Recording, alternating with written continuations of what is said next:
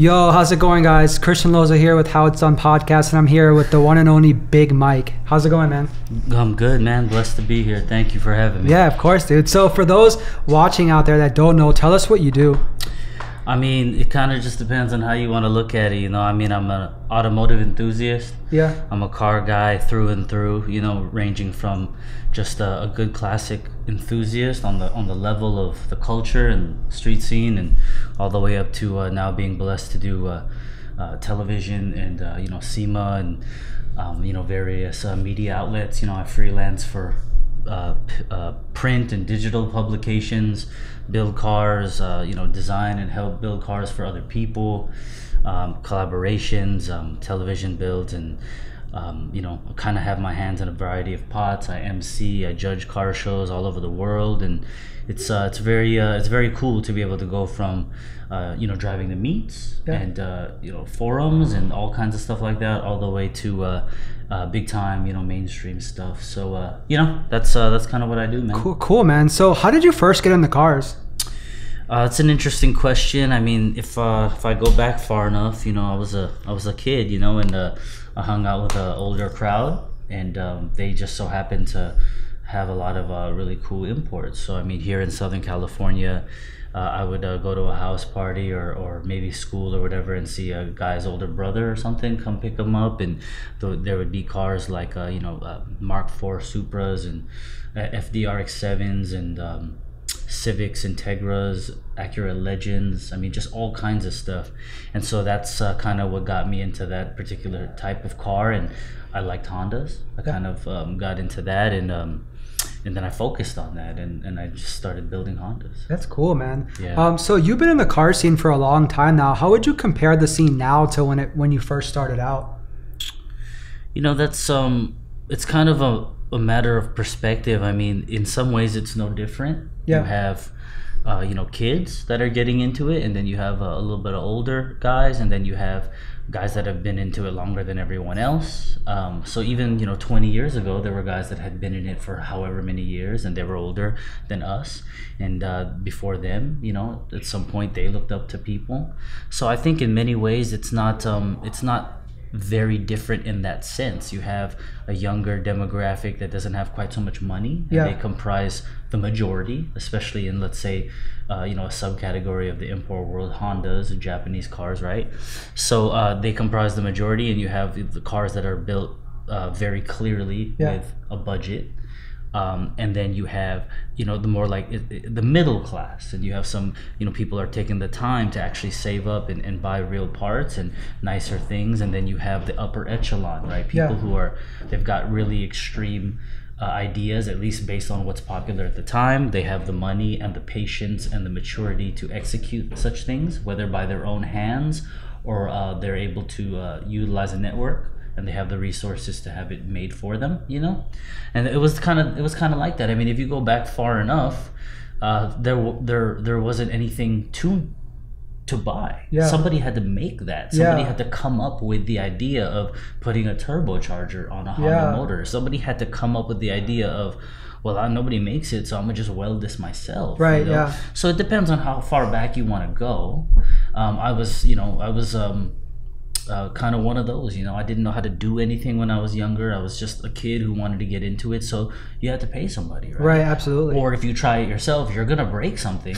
yeah. Uh, because you know there were no YouTube tutorials, there wasn't really anyone to teach you, so you just kind of sort of did it, and you would probably mess something up, right. and uh, that's how you learn, though. You know, Yeah. People So- have it easy now with like YouTube and stuff. Sure, sure. I mean, the technology um, is is pretty intense. You know, you can grab your phone. You don't even have to sit down. You can just grab your phone and and uh, look it up real quick. I mean, I do it all the time. If I don't know something or whatever, car related or otherwise, you just look it up. Yeah. You just look it up. It's so like it's all at our fingertips. it's all right there. Yeah, man. Yeah. Yeah. So, dude, tell us about your fourth gen 1992 Honda Prelude. How did it, it, it all start and get to where it is today? Yeah, it's funny, man. It's funny because a lot of people um, in our world they uh, they kind of presume that that's what I am, a quote unquote prelude guy. Yeah. And uh, I get that, but at the same time, it's just an indication of maybe how long they've been in the scene. Yeah. Um, my Prelude is one of like eight cars that I've built. Um, I haven't really put much focus into other ones. My very first car was a 93 Civic Si hatchback, and that was actually in Honda Tuning Magazine in Yeah. 2005.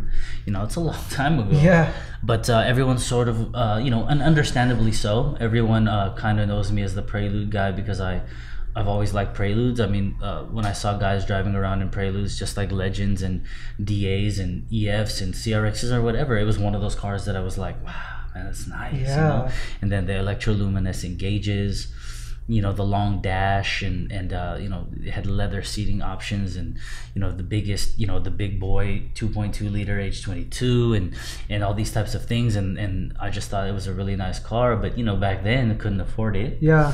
and uh, you know I uh, got older and you know you you progress as an individual career wise professionally etc you have more monetary resources and um, you know I did a bunch of cars and I ended up finding a Prelude from a friend for a good deal and it just like my coupe and my hatchback and all these other cars I've had or had at the time I just started modifying Yeah. you know and it just so happened that um, it made it to uh, um, Honda tuning the cover Yeah, in 2008 Yeah, we'll, we'll, we'll talk about that more. You can keep going. I'm just gonna mention that. Yeah, but yeah, no, that's no. a big milestone, man. Yeah, man. I mean, that's just um, you know, that's just kind of what it was. You know, like I, I, I've developed, and as we all grow as people, you know, I would like to believe that everyone wants to continue growing and and developing their style. yeah, So it just kind of happened where I would grow uh, and evolve and, and want this particular item or that particular item, or I wanted to look a certain way, and, and I did that. And you know, it, apparently, uh, the industry or the, the the culture, the scene, whatever terminology is applicable to the person, uh, they like it too. Yeah. You know, when you do a car, when you do whatever you do, you just have to do what you want yeah, and what you think is cool. And if other people like it, cool. And if other people don't, you have to be okay with yeah. Because it's it's your creation. It's not anybody else's. Yeah, Yeah, so I feel very blessed that incidentally what I liked, other people liked um, enough to want to uh, feature it. Mm-hmm. Yeah. And then not just feature it, but to uh, put it on the cover Absolutely. of Honda Tuning. twice, right? Uh, well, 2008, 2012, and uh, 2017, which, you know, obviously there's evolution of the names of the magazines. So 2017 It's was Honda tuning into Super Street. Yeah. Super Street, but I've been on the cover of Banzai magazine in the UK uh, twice. Um, and um, you know it's it's international, you know. So Yeah. I mean, uh, after 2008, I um, I've only been on the covers, That's which awesome. is pretty crazy. That's that's awesome. uh, I believe, uh, and that mag- speaks like high volumes too. yeah, yeah. Um, I I uh, was in I was a feature in a, a Japanese magazine, but everything U.S. and U.K. since 2011 Oh wow, has been covers. that's awesome, man. so I'm I'm How many covers total do you have now? Six. Oh, okay, wow. I'm sure you have them all like hanging up and framed and everything. You know, the or- first three, I think I do have all the plaques. Yeah. But to be honest with you, man, it gets it's a little bit expensive. yeah, Each one of those, you know, because the the I've been blessed to have fairly lengthy features. yeah, So they're not singular plaques. Yeah, Each one's like, like two, even two ones, and a half yeah. or three plaques per feature because it's seven to eleven pages. yeah. sometimes. That's insane. So, um, you know, that's a good 300 something bucks. Yeah. Times six. Yeah, I'd rather use that money for something else. yeah, but, um, yeah, man, I'm behind those, com- you know, those plaque companies, you know how they contact you? yeah. The, it's like in the news that they In for the- Honda tuning. Yeah, right? so In the News is a company that's been around a long time. And then uh, there's another one that I've used before. I think it, they're both out on the East Coast. Um, and uh, I like their quality. Yeah. It's cool. There's other ways to do it, but um, uh, I I actually do want one of every color. Yeah, dude, isn't it crazy how those companies? I mean, the way that I did it when I got on Honda Tuning was they they just like send it to you, and then they're like, if you like it, like pay for it. That's how they did it with me. Yeah, they don't like- do that anymore. Yeah, because I bet you some people like screwed them over. Or Sure, something. but I mean, if if if if enough people say, "Oh, I like this, but I don't want to pay that much," Yeah. and they send it back, then those people are cranking them out for nothing. Right. So maybe they or s- they might get the idea that like they're charging too much or something. Sure, yeah. sure. Yeah. For all I know, those companies still do it that way for some. Uh, for me, they call me Yeah. and they're like, "Do you want it?" Um, and I say at this time no, or at this time how about this? This can you get that? And they'll be like, well, I didn't do my last one, and they'll be like, okay, well, Well, we like do- a good deal or you know, something. we do yeah. have that, and I'm like, all right, well, last time I think I ordered two at one time. I think one time I've ordered uh, one and then one for a friend's magazine. So um, it would be very cool to have. You, they six. do those really good. Too, Oh, yeah, man. yeah. It's like top. I mean, you know. I like it, man. They're really nice to have up on the walls in the house or whatever.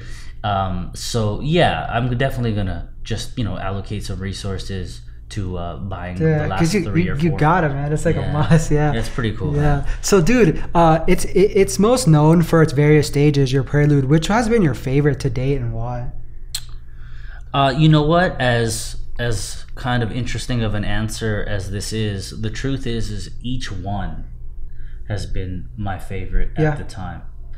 Um, at the time, that was the essentially the height of my creativity. Yeah. At the time, that was what I thought was the coolest and looked the best or whatever. So every car that I've built for what it was when it was was my favorite. Car. Yeah. Every car that I've had. And you've always like you've I'm sure like f- for your personal goals, you've always just like tried to one up each stage or whatever. Yeah, every every phase of the car or cars that I've had has been my favorite.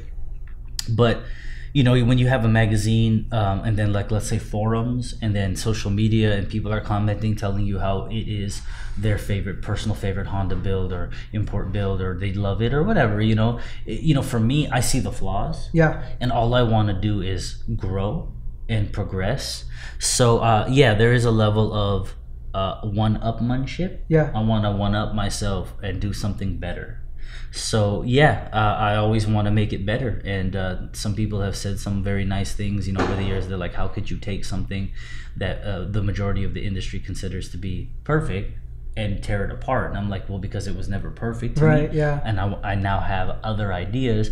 And you know, a lot of people have also said, why didn't you just buy other chassis? You know what? I probably could have, maybe even should have. But for me, it's like this is my car, Yeah. and I just want to keep the same Yeah. canvas. Do do you get a, a, that a lot from people? Like, why didn't you just keep it as is and just do something Yeah. else? Oh yeah, every time. Yeah. Every time. Yeah. And, and and your reason for that is like a good reason, man. Well, I appreciate that. You know, Yeah. um, this this last version uh, is essentially it. Mm-hmm. Um, I kind of liken it to an Apple iOS. This like this is version three of my car, so this is like three point one point one. Yeah. Right, and as I change, you know, maybe a wheel and tire package, you know, to get a different contact patch or play with offsets, three point one point two. Yeah. If I try different brake pads, 3.1.3, Yeah, yeah, you know? yeah. But it's never going to be completely and utterly torn apart again, color change and all that stuff. I don't intend to do that with this chassis. There are other things. It's on to bigger and better things, you know, building other people's cars, clients' cars, Yeah. helping them design stuff. So my personal car is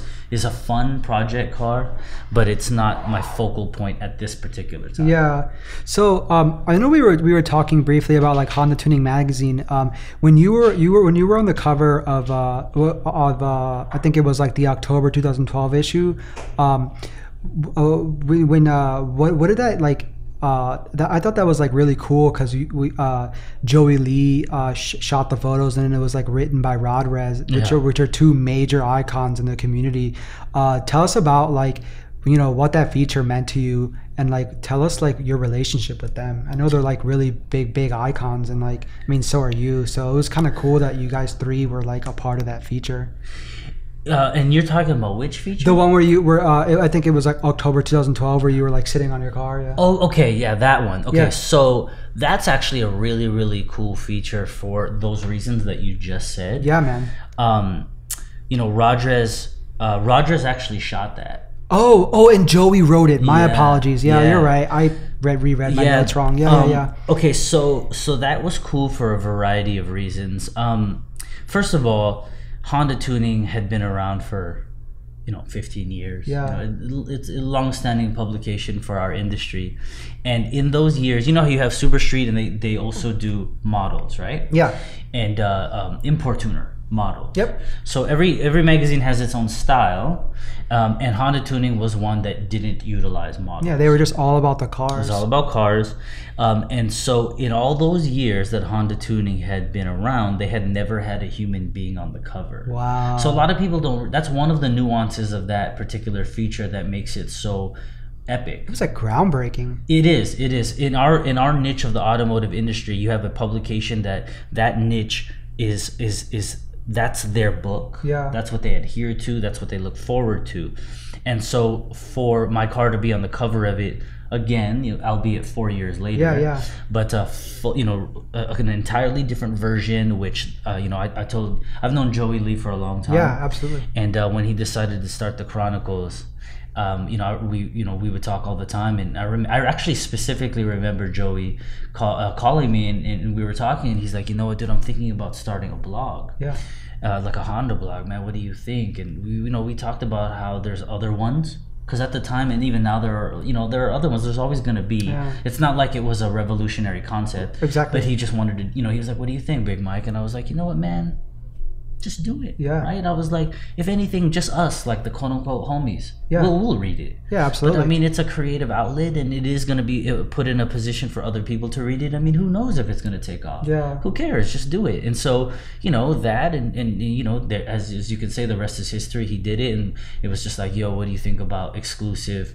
Like, let's do a, the first build thread on the blog rather than a forum, Right. which is where everyone was doing. yeah, that's what everyone threads. was doing back then. Yeah, and so it ended up being a really cool thing because to this day there are people who are like, dude, I, I, I followed the Chronicles because of your build, Mm-hmm. and now I'm you know dedicated uh, Chronicles uh, supporter. Yeah, and and it's got like a huge following now. And the show is always you know, Yeah, popping and stuff. It's pretty cool to see that evolve. Yeah, so a lot of people maybe they don't know how long how long ago we you know we we talked about it, and he you know his creation has become this uh, this kind of like staple in the Honda community.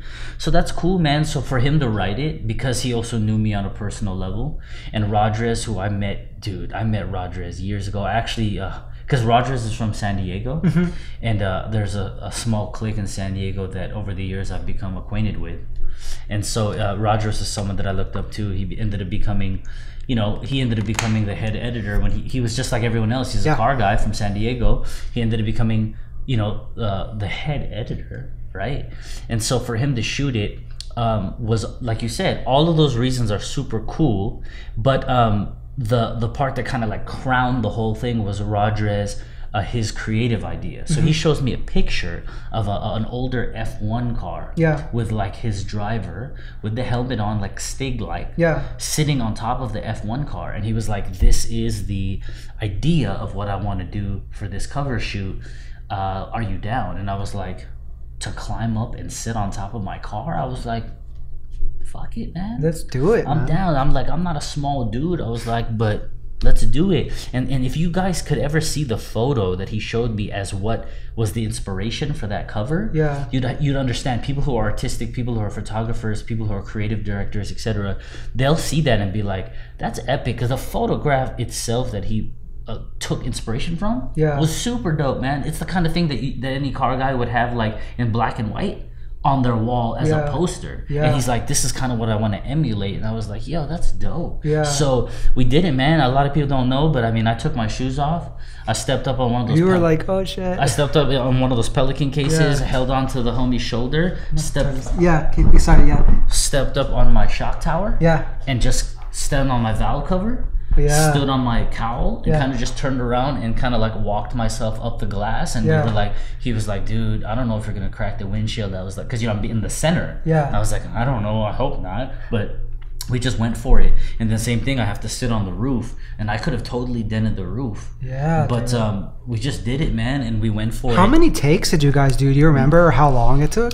Uh, well, I mean, you know, he shot all kinds of photos. Yeah. So, uh, you know, he shot all kinds of photos, but to do that cover, sh- the, the actual one where I'm seated, Yeah. there weren't that many. Oh, okay. The Rodrez is quite good, man. Yeah, yeah. Rodrez is quite good. He's very Dude, efficient. when he when he was like at the head of the throne of Honda tuning, man, that was like, dude, I feel like I have every issue. It's Yeah. like it was so good. you know, the, the loss of Honda tuning was sort of one of those grandiose collective edit kind of corporate dealios. yeah. because at the time when Rodrez was at the helm, not only did um, shelf sales go up, like people who go to the shelf and just buy it, Yeah. they're not subscribers, but subscriptions went up. Yeah. And in a day and age when digital uh, is winning and print is dying, uh, for the subscriptions and shelf sales to go up was an extreme compliment Yeah. and a manifestation of the way he controlled the book Yeah. and uh, the scene loved it and so for him to have lost that book and, and, and lost that position when they got rid of it at least in the print form was a was a, a pretty big blow you know? Yeah, dude, I feel like Honda tuning like meant a lot for the Honda community, and like when it was like like done, I was just like, now what? Yeah, I mean they, they got rid of the print version, the digital entity, and social media. All the digital stuff still exists. But the Instagram is still up, right? yeah, Instagram's still up. The Facebook page is still there. If you guys go to the website, they still are putting out content. Yeah, Uh, very very frequently. They're they're very active. it's just not like a physical magazine. yeah, because print magazines are dying uh, Yeah. predominantly because of people's. God, I would love to see that magazine come back. Yeah, it, it's not gonna happen. man. yeah. not I, under the I, corporate. I wish. Yeah, not under the corporate arm. It would have to be someone private. But the problem is the majority of people who would say, bring it back, I'll support it, they're not. They're not. Yeah. They're gonna say they are, but they're not They- gonna buy it. Yeah. I get people who you contact me social media all the time, and they bring up magazines, and they're like, "Oh, you know, can you bring back Honda tuning, or does it plan to come back?" And I'm like, "Were you a subscriber?" And they're like, "No, I just loved it." I mean, what the fuck is wrong with you? Yeah. Like, if you didn't subscribe and purchase it, if you didn't subscribe, if you didn't purchase it on the shelf, why do you think that it That went gonna- under? yeah. And why would you think it's gonna come back? Like, they have to be able to make money Yeah. and uh, you know people didn't support you know more because the internet man so blogs helped kill magazines because you got people with a good lens they don't they don't have to be even good photographers but and some of them really have evolved i mean there's a lot of young kids that are actually quite good Mm-hmm. at, at the, uh, videography and photography and you you know they're willing to put that up just to make a name for themselves for free For free, yeah. so it's not even it's not even difficult for me to understand why people stop buying magazines. I don't I didn't stop buying magazines. Likewise, yeah. But I understand why other people did, but those it's kind of perplexing to me why the same people that didn't buy magazines complain that there are no magazines. Yeah. So that's a whole different subject. Yeah. And I mean about that feature, that feature was epic for all those reasons. Yeah. I was the first human being of any type ever to be on the cover. Yeah. And when Rodrez came up with that idea, he still had to shoot other cover photos because when he submitted it to his bosses, they could have been like, um, no, no, thank you. And then he'd use another photo. Yeah. So the, the cover was one thing, but me being on the cover was another. Yeah. And and even he didn't know if they were gonna approve it Yeah. when he shot And it's it. cool that they did. Yeah. You know, that that uh, issue was like meant a lot to me too because my my EP3 was actually Mm-hmm. in that in that issue and and and Rodrez wrote it too and it, that just was you know that was just a good issue or Yeah. our issue man and I just like I don't know missed the magazine which I'm sure a I lot of too, people yeah, do man. it's because it just meant a lot to the community and stuff but um yeah man so I have to I have to bring up uh, uh Ryan Basseri aka Rywire you two are like really close and been working side by side for a long time how did you guys meet and what does his uh, friendship mean to you How did we meet? I would say maybe almost something like 10 years ago. Yep. He was in Northern, he's from Northern California, so he's, I'm in Southern. So he's in Northern California.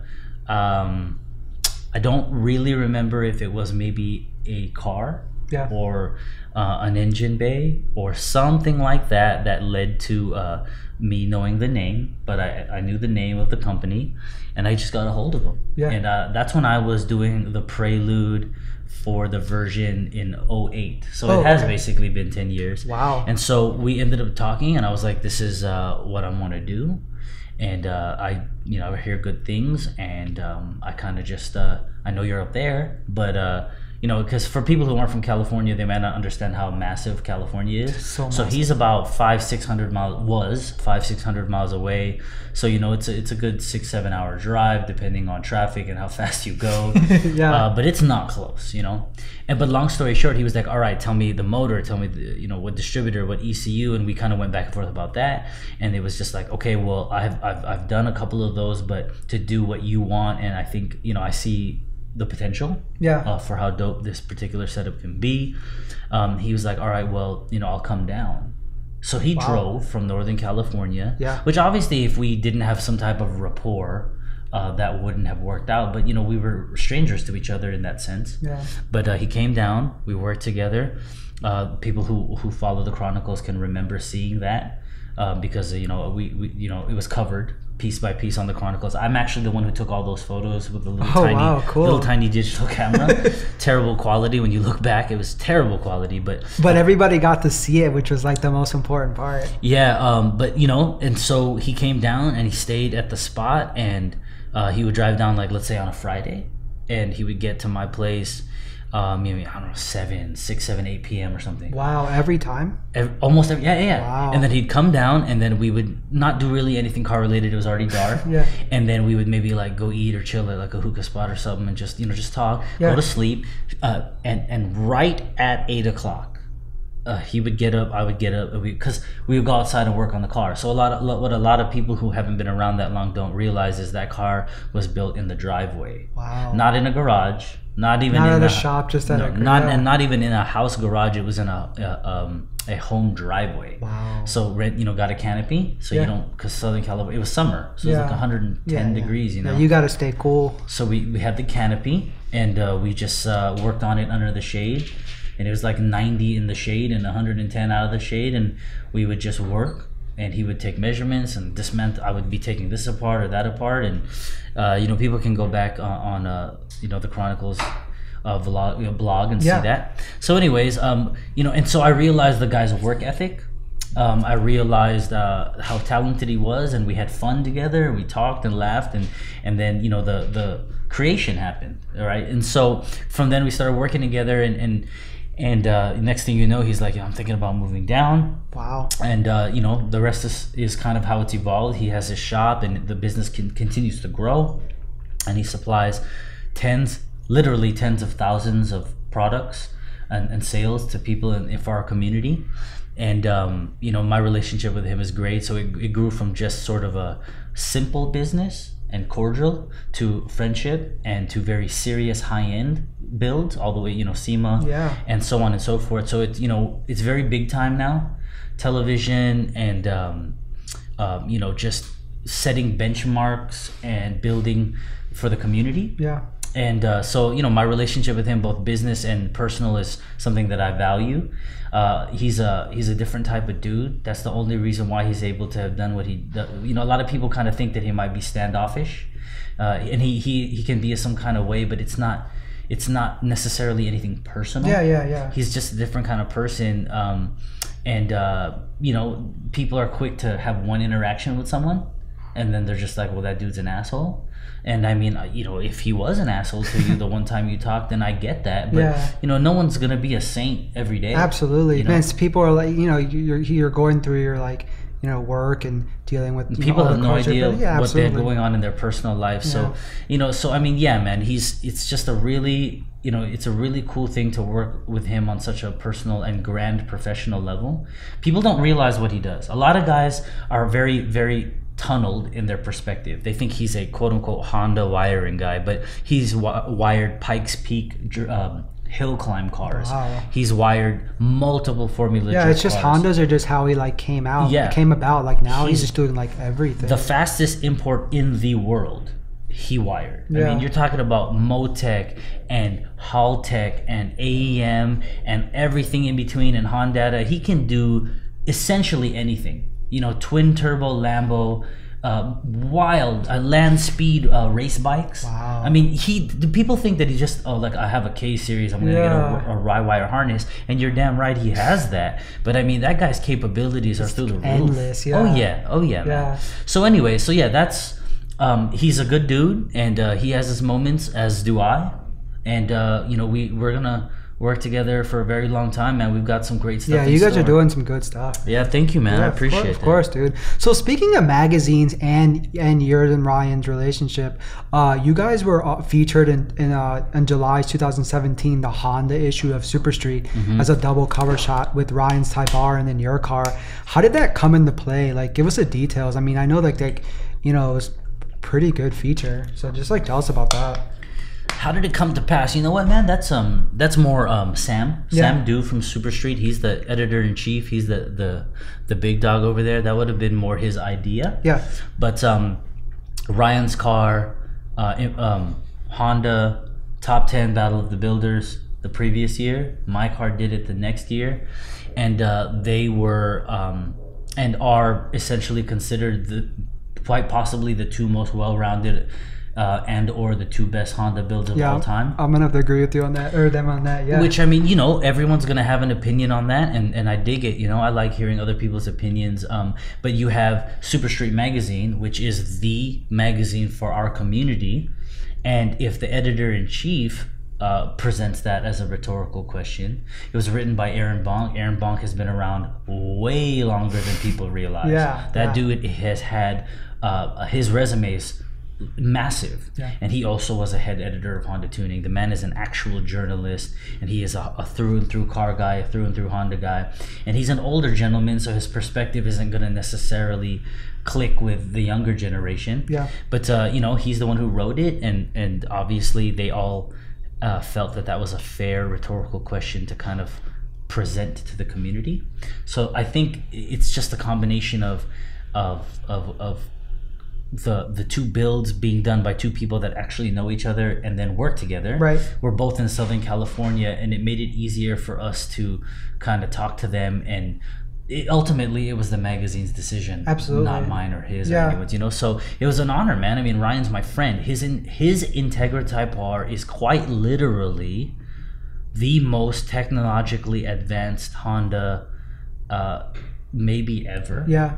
Uh, you have to put it into perspective because if you have people who did it like um, um, I don't know you got if you go back far enough the guys who were first trying to figure out how to do you know uh, uh, external coils and, and it's kind of relative you know like someone was like well I don't think that I want to use the distributor anymore let me come up with like a cam trigger so depending on the, your perspective and how you put it into perspective you know there were advancements that had to be made for the next advancement to be made Right. but if you're talking about presently, you're talking about a vehicle that that utilizes, you know, massively high-end electronics. Oh, the best yeah. cars in the world use Motec, and you have uh, a wiring job that was probably, you know, 400 hours.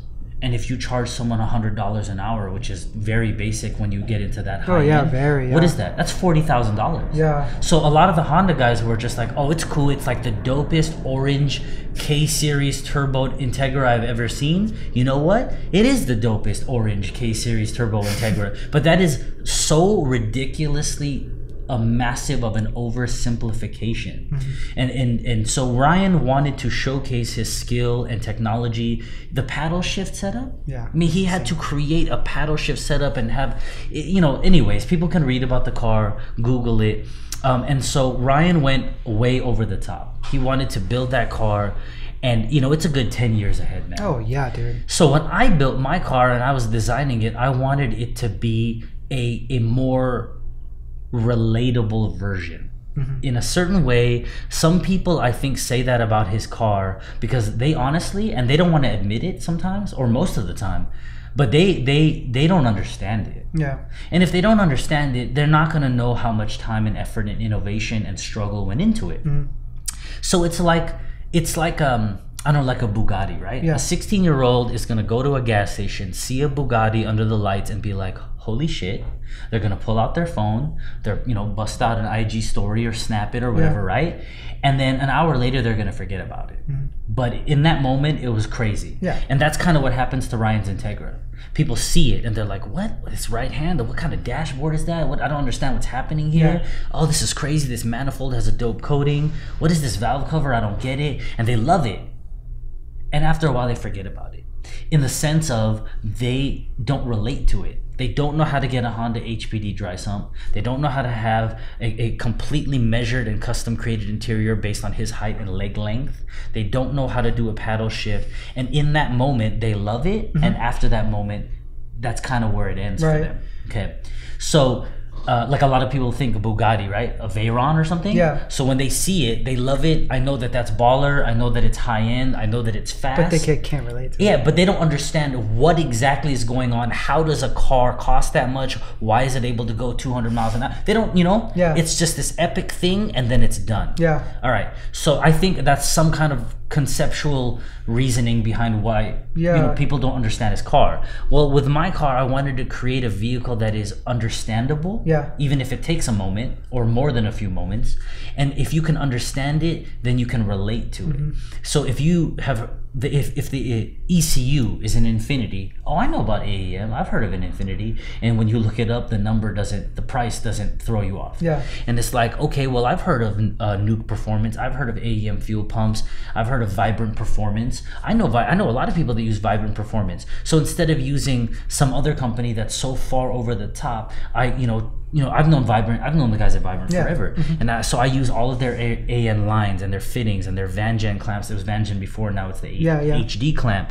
But the point is, is every piece that I did to that car was done so that it could be understandable Mm-hmm. and therefore relatable. And I think that's one reason why it has, it has stuck and will be uh, memorable forever, Mm-hmm. in the sense that people can look at it and kind of follow the lines and follow the flow and see the color coordination kind of figure out where the overflow tank is you know and kind of if they if they pay attention they'll get it. And if they don't pay attention they can look it up. Yeah. and you'll start to see and there's a lot of innovation. There are people who are like that's the dopest prelude i've ever seen. That's like saying um what would be that the equivalent of saying that's like someone going to like a picasso Yeah. and looking at it and being like that's the coolest painting that has color in it that i've ever seen or that's the coolest painting on a uh, on on oil Yeah. oil on canvas Yeah. uh, no that's considered some of the greatest paintings of all time of any genre Ever. Any um, art medium. which is which is of course a relative statement but the point is is if somebody looks at that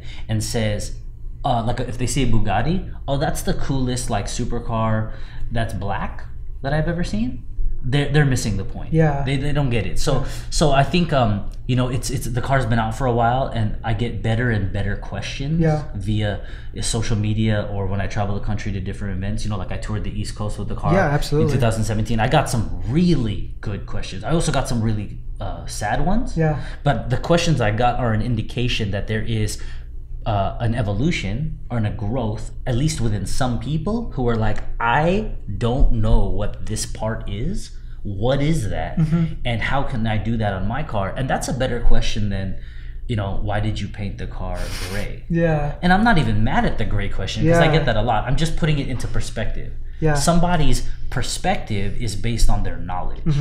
So it's all about growth in that regard. You know? Yeah. So I hope that answers the question. Yeah, man. So 2016 was a huge year for you at SEMA. You took home uh, the top 10 placing in the show's prestigious Battle of the Builders competition, and then you, you received a Young Gun Award as well. Tell us about that and what that meant to your career.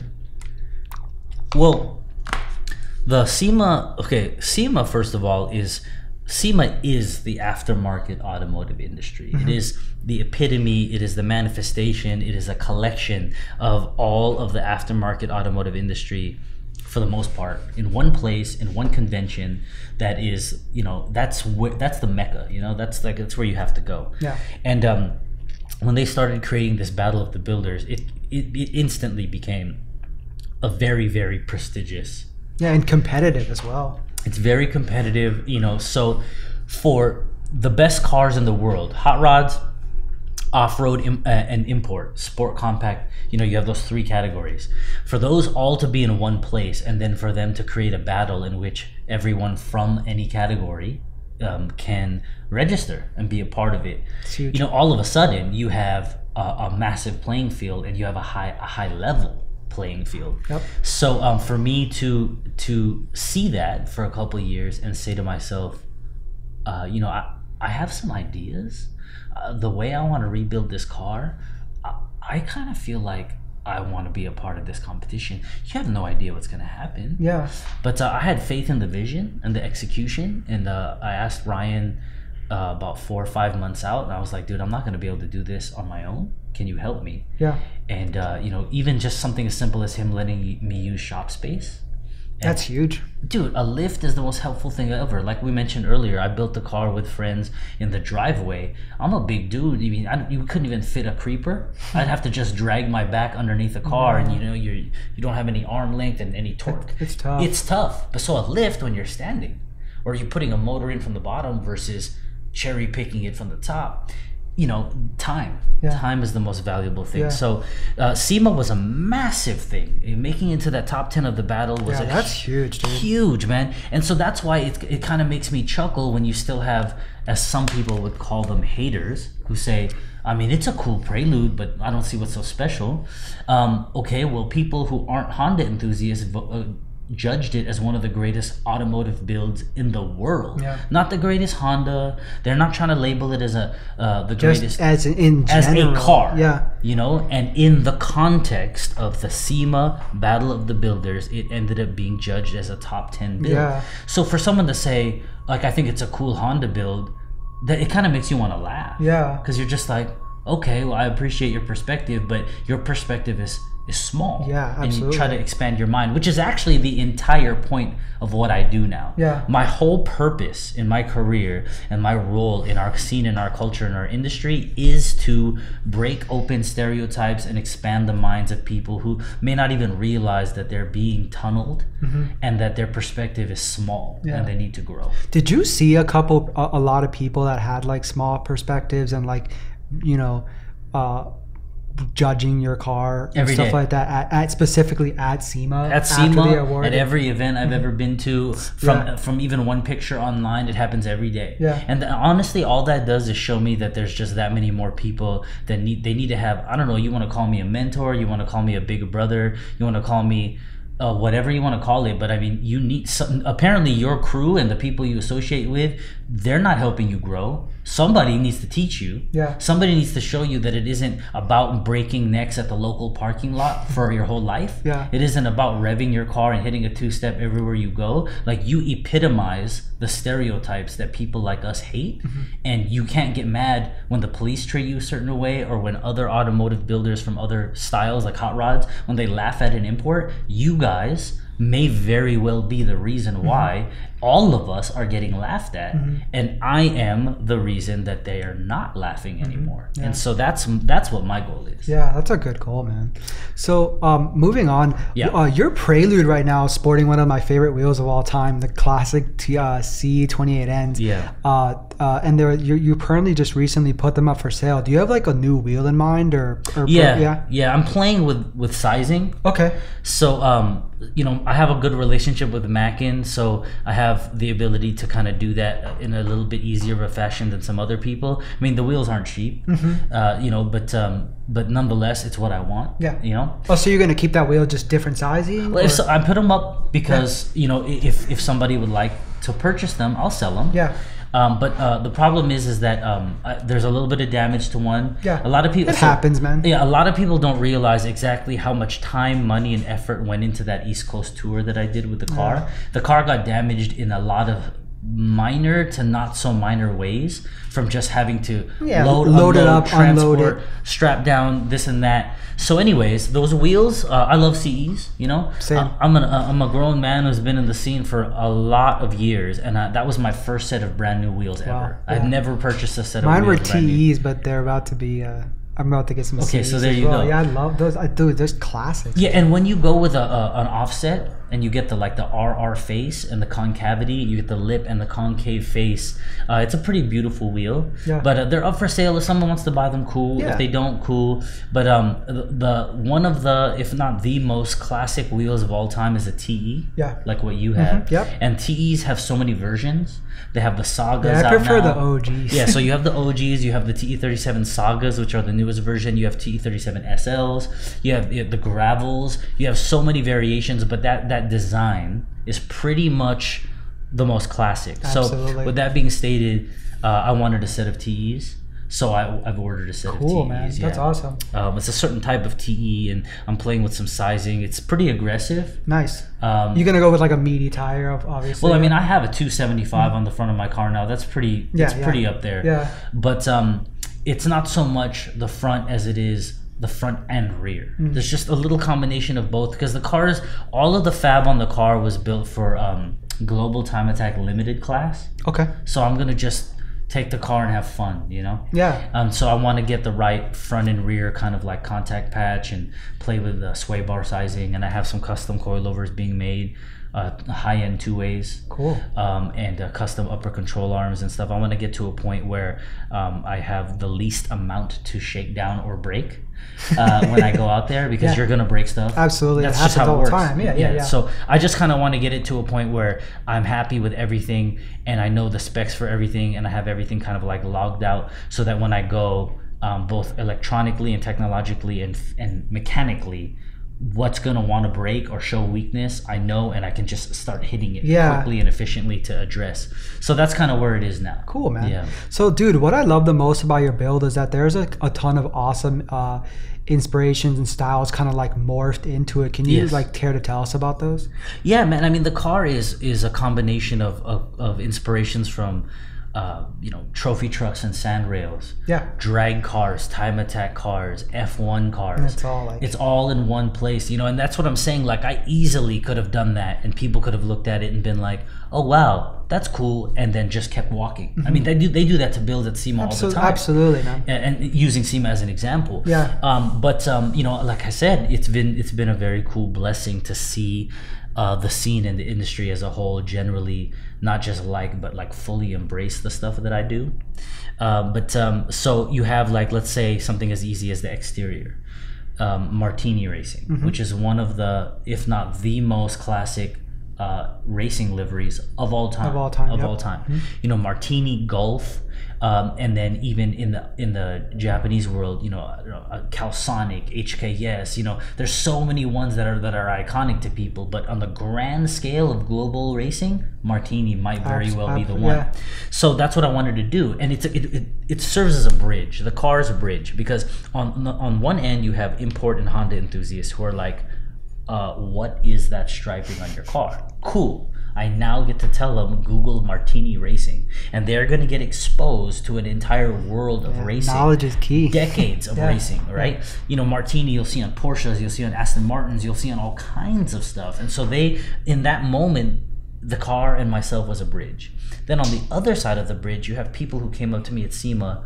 Uh, Martini has a massive cult-like following, and so I had people well dressed you know, Europeans and other guys, you know, that were at SEMA, some of them in Martini, official Martini gear, all the way to just F1 fans. And they would come up to me and they'd be like, I didn't even know that you guys, you guys, which I'll touch on that quote. Absolutely. That, that you guys, which has a very much a negative connotation, even if they don't intend it to be. I agree. I didn't even know that you guys knew what F1 racing was. So you have what is F1 racing? Not even what is what is the what are these colors? And then they'll learn about F1. And then on the other who follow F1 and don't give a damn about Hondas, now they're like, wow, I didn't multiple times, which is the ultimate compliment. I got hot rodding and and European and like uh, WRC and like those kind of guys, fans of that kind of racing and building, come up to me and say, I didn't even know that you could build a Honda like this, or that you Honda guys are you kids. And I'm a grown ass man. I'm not a fucking kid.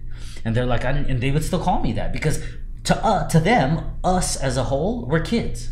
We're a bunch of kids that build these little racers. yeah. And so even if they don't necessarily in that particular moment mean it negatively, that's still the terminology. As a grown man, they're like, well, you build a Honda, so you're a kid. So they quickly, without even meaning to, they're like, I didn't even know that you kids could build a car like this.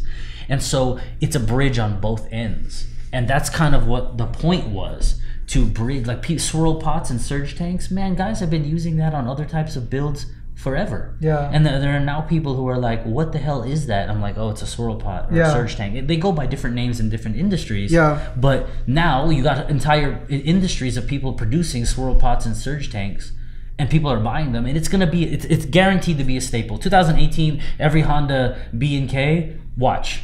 It's gonna have a cool Yeah. swirl pot and surge tank. Yeah. And I'm not saying that I'm the one who started that, but I mean, I'm just saying that's the evolution. Yeah. That's the growth of things. Cool, man. So, um, uh, you got a tremendous, uh, g- really good list of supporters and sponsors for your build. Do you want to like tell us about them? Supporters. Yeah, and just like sponsors, the people who like went into like. There's a yeah. So okay, so that's the other thing, man. I think a lot of people might have the misconception that I'm just getting everything for free. I don't know where that came from, um, but uh, you know I get it. Like I do have partners, Mm-hmm. but see what a lot of the younger guys don't understand is, man, you need to put in your time. Absolutely. okay? You can't just go out and just be like, let me get some. yeah, you can't go to a company Oh, we're gonna get into this grammar thing right now. I'm gonna talk about grammar. I have to address it, man. Uh, my loyal guys that and, and girls that come into the live streams that I do, Yeah. we joke and talk about grammar pretty much every single time. But um, to address your specific question and point, um, so every company that I work with on a partnership type level, I have purchased their products at retail over the years and have grown to like them. I've had companies approach me and want to give me product and money, and I have just simply declined. Why? Because I don't like their company. Yeah. I don't like what it represents, or maybe not so harshly, I don't know anything about their company.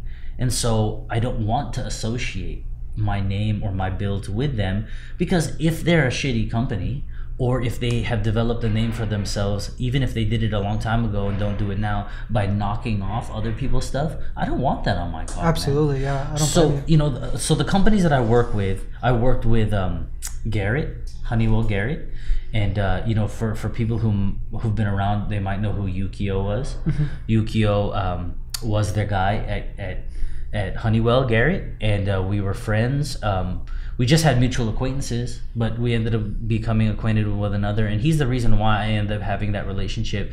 And he uh, suffered a medical incident, Oh no. and uh, he's uh, he's um, you know having to address and recover from that. And um, it- everyone knows now it's public knowledge, but he had a stroke. You know, Oh, he's in wow. his mid thirties, and he had a massive stroke, and so he's not working for them anymore. Oh no. But he's the one who set that up, and I have guys who have been running. I mean, the Garrett, a Garrett Turbo was like the turbo. Yeah. right? Back in the day, if you had a Garrett GT30 or a GT40, I saw that on Supras and guys who did it on their B series kits, and I was like, oh my gosh, this is like I want to save up and get a Garrett Turbo. So Garrett Turbos is one of the companies that I work with. I run one of their GTXs. Turbosmart, uh, Marty at Turbosmart USA uh, has been kind to me and um, Vibrant Performance. So the first company that ever supported me straight up was just like, dude, if you build it, we want to be a part of it. That's awesome. Um, was Vibrant. Yeah. So Donovan, everyone might know Donovan Griffith, massive dude, has been a personal uh, fan of mine for years and he works at vibrant and he actually has two brothers that work there. So the whole family and over the years we have developed a very very good relationship both personally and professionally and that's what i utilize. It's about support you know? Uh, they support me and i support them both personally and professionally. So you have that. Um, mike at Wilwood I use I utilize Wilwood products. It's it's made here. It's local in Southern California. High quality stuff. I mean, a lot of guys didn't even realize that Wilwood was making Honda friendly big brake kits for 15s. Yeah. Right. The track guys have been using that stuff forever. There's a, a, a, a an appeal to running like a spoon caliper. But if you need an option that fits this or that and lightweight and different colorways and all these options, dude, Wilwood, man. And so I use Wilwood stuff. I have a good relationship with them. I paid for Wilwood products before, liked it and now I have a relationship with them. So once again, you know, that's, that's only a few companies. Yeah. You know, um, the the Prelude, the gray that everyone loves on the Prelude, that's actually uh, Axalta paint. Oh, okay. So this particular time, I ended up talking to Axalta to utilize their paint products for this paint job. Before that, you just nah, man, you just go, you know, you just Yeah. pay a paint shop, PPG, DuPont. Now I use Axalta, you know. So, anyways, man, it's just it's just um, the different companies that I work with are companies that I work with because I believe in them. Yeah. You know, same thing with Rywire. You know, a lot of people think everything I get from Rywire is free because he's my friend. Man, I still pay. Yeah. You know. And that's awesome that you, know you support him and he supports I you. I mean, yeah. dude, like you're gonna ask somebody, "Hey, can you help me build this harness?" That is probably about a six or seven thousand dollar wiring job. A, can you do it for free? And B, can you do it while you could be doing customers things? Yeah. So you're gonna lose what 10, 15, 20,000 total if you actually do the math. A lot of the kids don't understand that there's real life money involved. Time is money. Yeah. The man owns a business, so I'm gonna say do this for free and do it during business hours? No. yeah, man. that wouldn't be fair, No. especially, especially to a friend. No, and first of all, Ryan Ryan probably wouldn't even have done that. Yeah. But I mean, he, you know, he willing and able is different. What, I'm not going to let my business go under to do you a favor, and I would never have asked him to. Mm-hmm. Yeah. You know, but he's done a lot for me uh, to help in different ways. yeah, Um, so yeah, I mean, and then my friend Cody, Cody's who I utilize to do the the clay and the fiber work to create the custom wide body and stuff like that. So the, the, the network I have, my boy Dan, he has a shop called WordWorks, specifically part of the Accord community, but he's a very very knowledgeable, um, uh, trustworthy mechanic. Mm-hmm. So if it was like, dude, I gotta go pick this up, I gotta go have this meeting, can you help me? So these are the different ways. It wasn't just a company, but it was more like a trustworthy person too. Some of them either worked at a company or they were just there like how can i help Right. so you got a dude who's been a mechanic for 10 years and you're like yo can you just go pick up parts like go on a parts run if a person has too much pride they'll get offended Yeah. like i thought i build cars for a living and you want me to go pick up parts for you Yeah. but my dude dan for example would be like all right because he understood that that's what needed to be done to get it To done. get it done. You yeah. know, so and that's a good thing to understand. it's about having a good circle if you if your crew or your circle is a bunch of like dumbasses yeah. Well, you're probably gonna be a dumbass for the rest of your life too. Yeah, and I mean, yeah, that's people need to understand. You can be offended at stuff that I'm saying if you want to, but this is the reality. Yeah. If you kick it with a bunch of knuckleheads, what do you think you are? Yeah. Right. Yeah. But if you kick it with people who are successful, if you kick it with open-minded, intelligent human beings, i you'll have no choice but to grow with them. Yeah. So your circle. Uh, and and I think sometimes having zero circle, having no one around you, is better than having a bunch Yeah, of dumbasses. yeah. Some sometimes you need to go be by yourself, and people don't know how to be by themselves. People also don't know how to think for themselves. But that's a whole, that's a whole Oh, no, that's subject. Anyways, go ahead. Sorry. Cool, man. Yeah, so I'm gonna read a quote of yours. Um, you said hard work, long nights, stress, setbacks, frustrations, focus, dedication, and drive. These are just some of what is experienced and what is needed when building a car to the level we have chosen to become accustomed to. So you helped Ryan prepare for SEMA 2017 with his Honda S2000 build. Just like tell us, tell us about that. Okay, so that's that's Ryan's baby. I mean, the car belongs to a, a homie named Angel, but he basically gave uh, Ryan creative freedom, and uh, my role in that was very, very uh, um, in the background. That's Ryan's thing. I just helped, you know, if I needed to pick something up, if if things needed to go and get. Um, you know, tumbled and, and, and zinced and coated, uh, I would do the legwork there. You know, I, I did that for them. If it was just like, hey, can you just, I'll just assemble this side, like the brakes.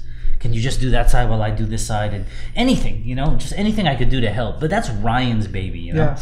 And, um, you know, I connected him with Cody and Angel with Cody because Cody did my car, then Cody did the S2000 so it's just stuff like that you know like i mean i just helped with that i mean that's a beautiful s2000 build Yeah, absolutely. it's a gorgeous s2000 build you know um, so that's kind of uh, that's kind of what it was, man. A little bit of creative stuff. Ryan would call me or be, when I'm at the shop. He'd be like, "Okay, so I'm thinking about doing this, and I kind of want to do that." And I'd be like, "Okay, well, what about this? Ah, I don't like that. Okay, cool." And then he just do what he wanted to do. And then other times he'd be like, "You know what, dude? You're right. I think that one that one line or that one placement of something is better." Yeah. So it's just you know friends bouncing off ideas. We just happen to think on that grand of a level, and so uh, you know it, uh, it was cool to play uh, any role Yeah. Particular one. Yeah, dude. So um, so just like any any build, you guys ran into some setbacks and issues. You care to share some of the, like a story from that, or I'm sure that was like not something you want to think about. I mean, but- it was bad, dude. I mean, it was bad. So,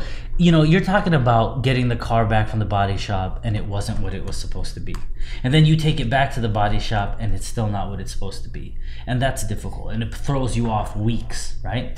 And then you you get a, maybe a certain suspension piece that was designed by itself and then you get another suspension piece and when you put them together they didn't work together Yeah. so the brakes those big brakes in the rear posed a massive issue with other components that all work on s2000s but don't weren't designed to work with those brakes Yeah. so that's just one and so when you have a week left or two weeks left God, I'm sure putting- you guys were like, oh my god. dude, yeah, we're putting a car together, and all of a sudden it's like, hey, wait a minute, did you tighten that down? Yeah, I'm tightening down. What about your side? And it's like, yo, I am sitting against X or Y piece, and it's just like, what do you mean you're sitting against it? I'm like, try to turn the wheel, and it's just like, okay, okay. What do we don't even have time to address Yeah. that? So we had like Ryan had to end up nixing certain parts Wow.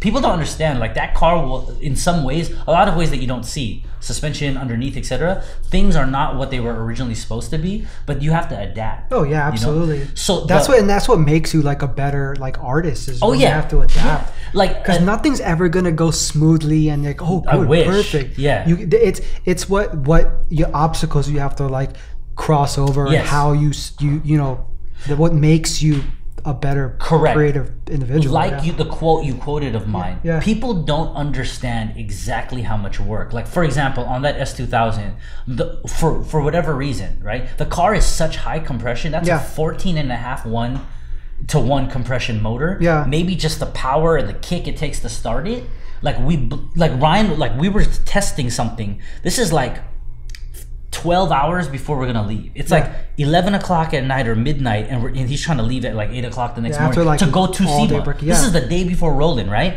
And he fired the car and just, vroom, we just blew the starter. It just spun within itself. Oh and we were like, uh, what? What the So this dude Yeah. had to go pull, and he was so fatigued, and he's like, dude, I'm, I'm not gonna leave at eight. I'll leave at like noon. So he's like, I can't do it. I'm too tired, and I, I had work, and I, you know, like I was, I was exhausted too.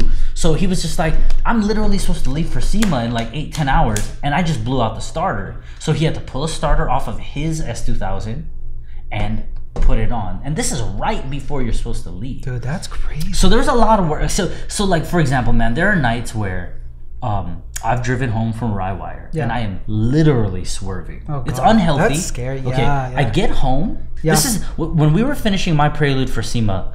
When when I put it in SEMA, a lot of people don't know this story. This is about three nights before we were leaving. Yeah. I get into my driveway and I and I was like using willpower and caffeine and just sheer focus to get home safely. Yeah. And I was just hurting, man, physically Yeah. exhausted. Don't you I'm- hate that when your body's just like dude, done? two to four hours of sleep a night for uh for like two weeks, and my body was in pain. I'm not a kid, you know, a teenager. They might be able to ride that out. I'm hurting, right? So I get into my driveway and I'm sitting there, bro. I'm sitting there and I'm like, okay, you got to get up and go inside because it was like two in the morning. I needed to go inside, sleep for three hours because I need to get up at five to get ready to go to one of my jobs. Yeah. So a lot of people also don't understand how much work is involved Yeah. aside from cars. But anyways, so I'm sitting there and I'm just like, dude, get up, right? Because I'm, I'm exhausted. My body's like, done. couldn't, So I'm sitting there in the driveway and I put the car in park and I'm just like, I'm here safely. And I think the combination of knowing I made it safely and, and just being fatigued, I was like, dude, I'm just, I'm tired. And then I opened my eyes and I'm like, dude, you're falling asleep in the car. Get up and go inside. At least sleep in, in, a, in a bed for a few hours. Yeah, because when you do sleep like that, it's like it's not good sleep. No, no, all, yeah. not just that. So you know, like I was doing, Yeah, right? yeah. I'm sitting there. I'm like, dude, get up, and I'm like, "You- you're dozing off in the car. When I opened my eyes, I was like, get up, you're, you're falling asleep. I was like, wait a minute, something looks different. Yeah. And I realized that it was brighter outside. Oh shit. So I had fallen asleep oh my god. in my car with my foot still on the brake pedal yeah. for th- almost three hours. Oh my god! And I felt like that, right? So I opened my eyes and I'm like, it's a little bit brighter out here, and I still see the red behind me from my foot oh depressing the brake pedal. Oh God. And so I, I had to. It's like I had to will Can you imagine my if foot. you like? Oh no! I mean the car was off. Oh okay. okay. But I mean the brake lights are still on. Yeah, So. I like I lift my foot off, and I'm just like, yo, it's five o'clock. So I walked straight into my house, straight into the shower, showered, and put my, my work clothes on and drove straight to work. wow. And people don't understand that. Like social time, time dating women, like you better put like where else are you gonna get your time? Yeah. If you work and then you need to do more work, you, you take it from your personal time and then you take it from your sleep time. Mm-hmm. Oh, yeah. And a lot of guys are just like, oh, like I can't do it, I can't make it in this world. Man, bitch, you better just work harder. Yeah. This sh- it's not supposed to be easy. It's not- it's- if it was easy, everybody would be everyone would be it. successful. Everyone would have the dopest, let's say, car or business or whatever. Yeah. It's supposed to be hard, Yeah. man. So, in and if you find a good niche, after a while, it cannot be hard. But unless it's handed to you, how else is it going to Mm-hmm. Yeah, be developed? absolutely. So that's the thing. Like that quote. Yeah. Same thing with Ryan. I mean, no one was sleeping. People get cranky. People start yelling at each other. I'm sure you guys got like the best of each other too. Oh, dude, dude. Y- you know, like there's times where you know you'll snap at somebody, and if somebody doesn't have the ability to catch themselves and not snap back, it'll turn bad, man. Mm-hmm. yeah. But I mean, you know, it's just the It way is it what goes, it man. is. It is what it is. man. Absolutely, man. So, dude, uh, on the topic of like SEMA and, and all that, and all you know, building cars and stuff. Like, how do you feel that this past SEMA compared to like previous years? Because I know you've been going for like a while. Mm-hmm, mm-hmm. Um, and ha- what when what year has has been your favorite so far? Well, of course, I would say the year that I made it Yeah, uh, into the top 10, that was one of the most surreal experiences ever. 2016, right? Yeah, go up on stage, uh, be filmed for television for Velocity. Yeah. Um, have the recognition of high, high end, world known hot rodders come up to you and say, I need to shake your hand. Yeah. Things like that. I mean, massive compliments that are very hard to convey to the average Honda enthusiast. They don't know how to put that into perspective. Yeah. You know, and some so- people just never will. they never Yeah, will. This is true. Yeah. So in that sense, of course, you know, being honored as a young gun, et cetera, et cetera, that was a very big deal. Mm-hmm. Now, 2017, uh, ob- objectively. So I'm also on a SEMA educational panel. Yeah, now. yeah, yeah. So.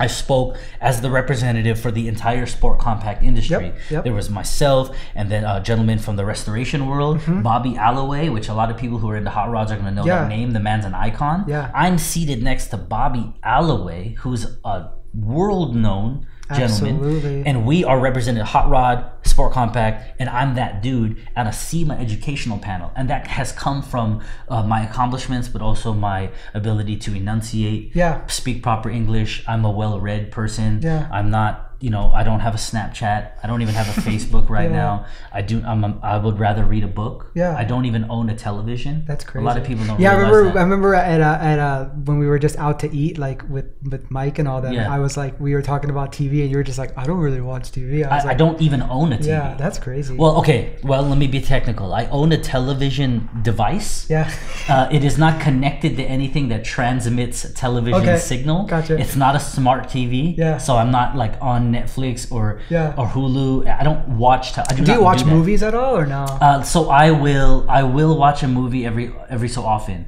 but I mean it would be like a red box. Yeah, And yeah. I literally have to you Yeah. know the, the DVD player. yeah, I personally like going to the movies though. I just like the Hey, movies are fun. I mean, Yeah, except that the I remember yeah. going to the movies when it was three seventy five. Yeah, now it's like it's twelve fifty for so the dumb. matinee or something, and I'm just like, okay, but yeah, movies are cool, man. Yeah. I mean, especially if you go to IMAX.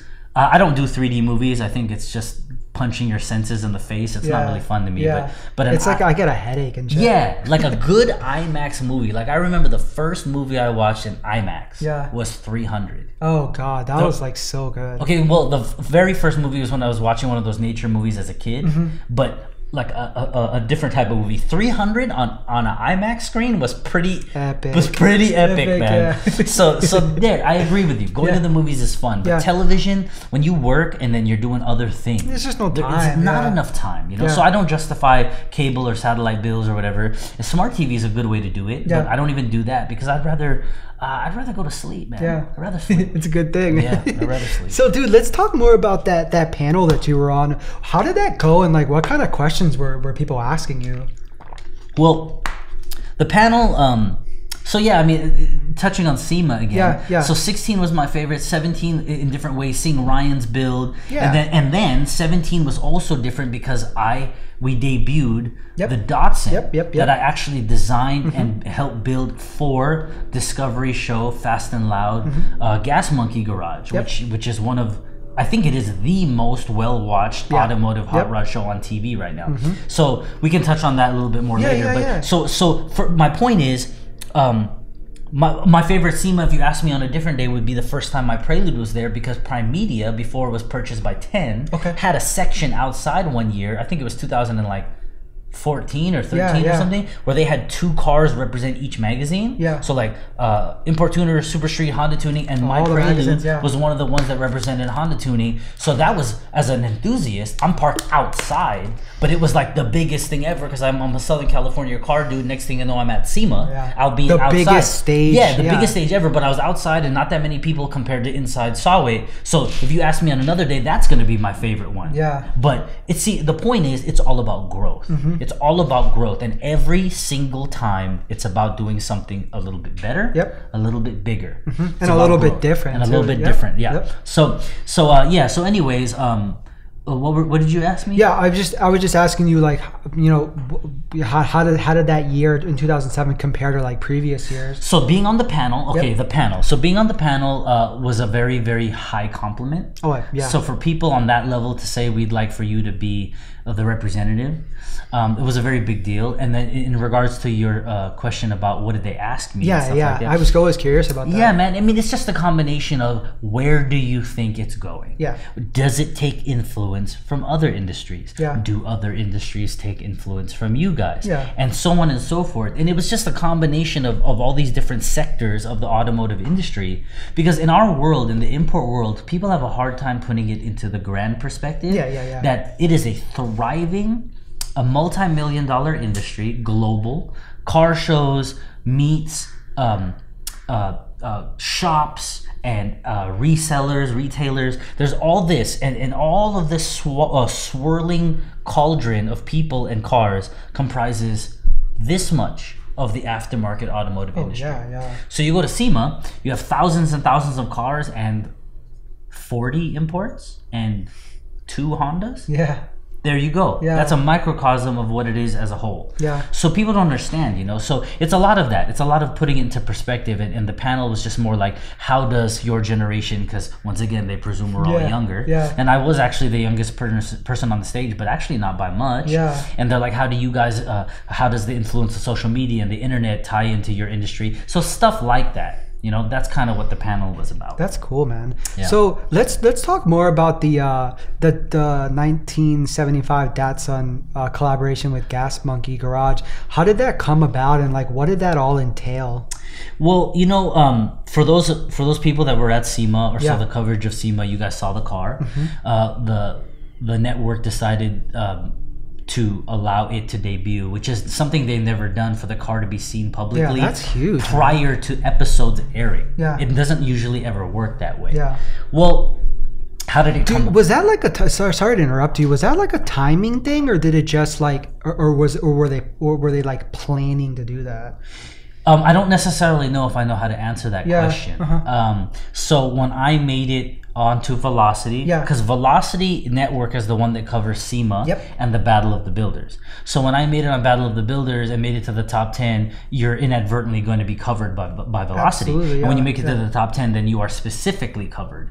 So I was on stage and all this kind of stuff, and I and I had a couple people talk to me and from those conversations it turned into I don't, you know, we didn't know that there were, once again, we didn't know that there were import guys who could build cars like this. We didn't know who you were, uh, but we had heard the name and now we see you, or et cetera, et cetera. We Googled you and there's pages and pages of stuff.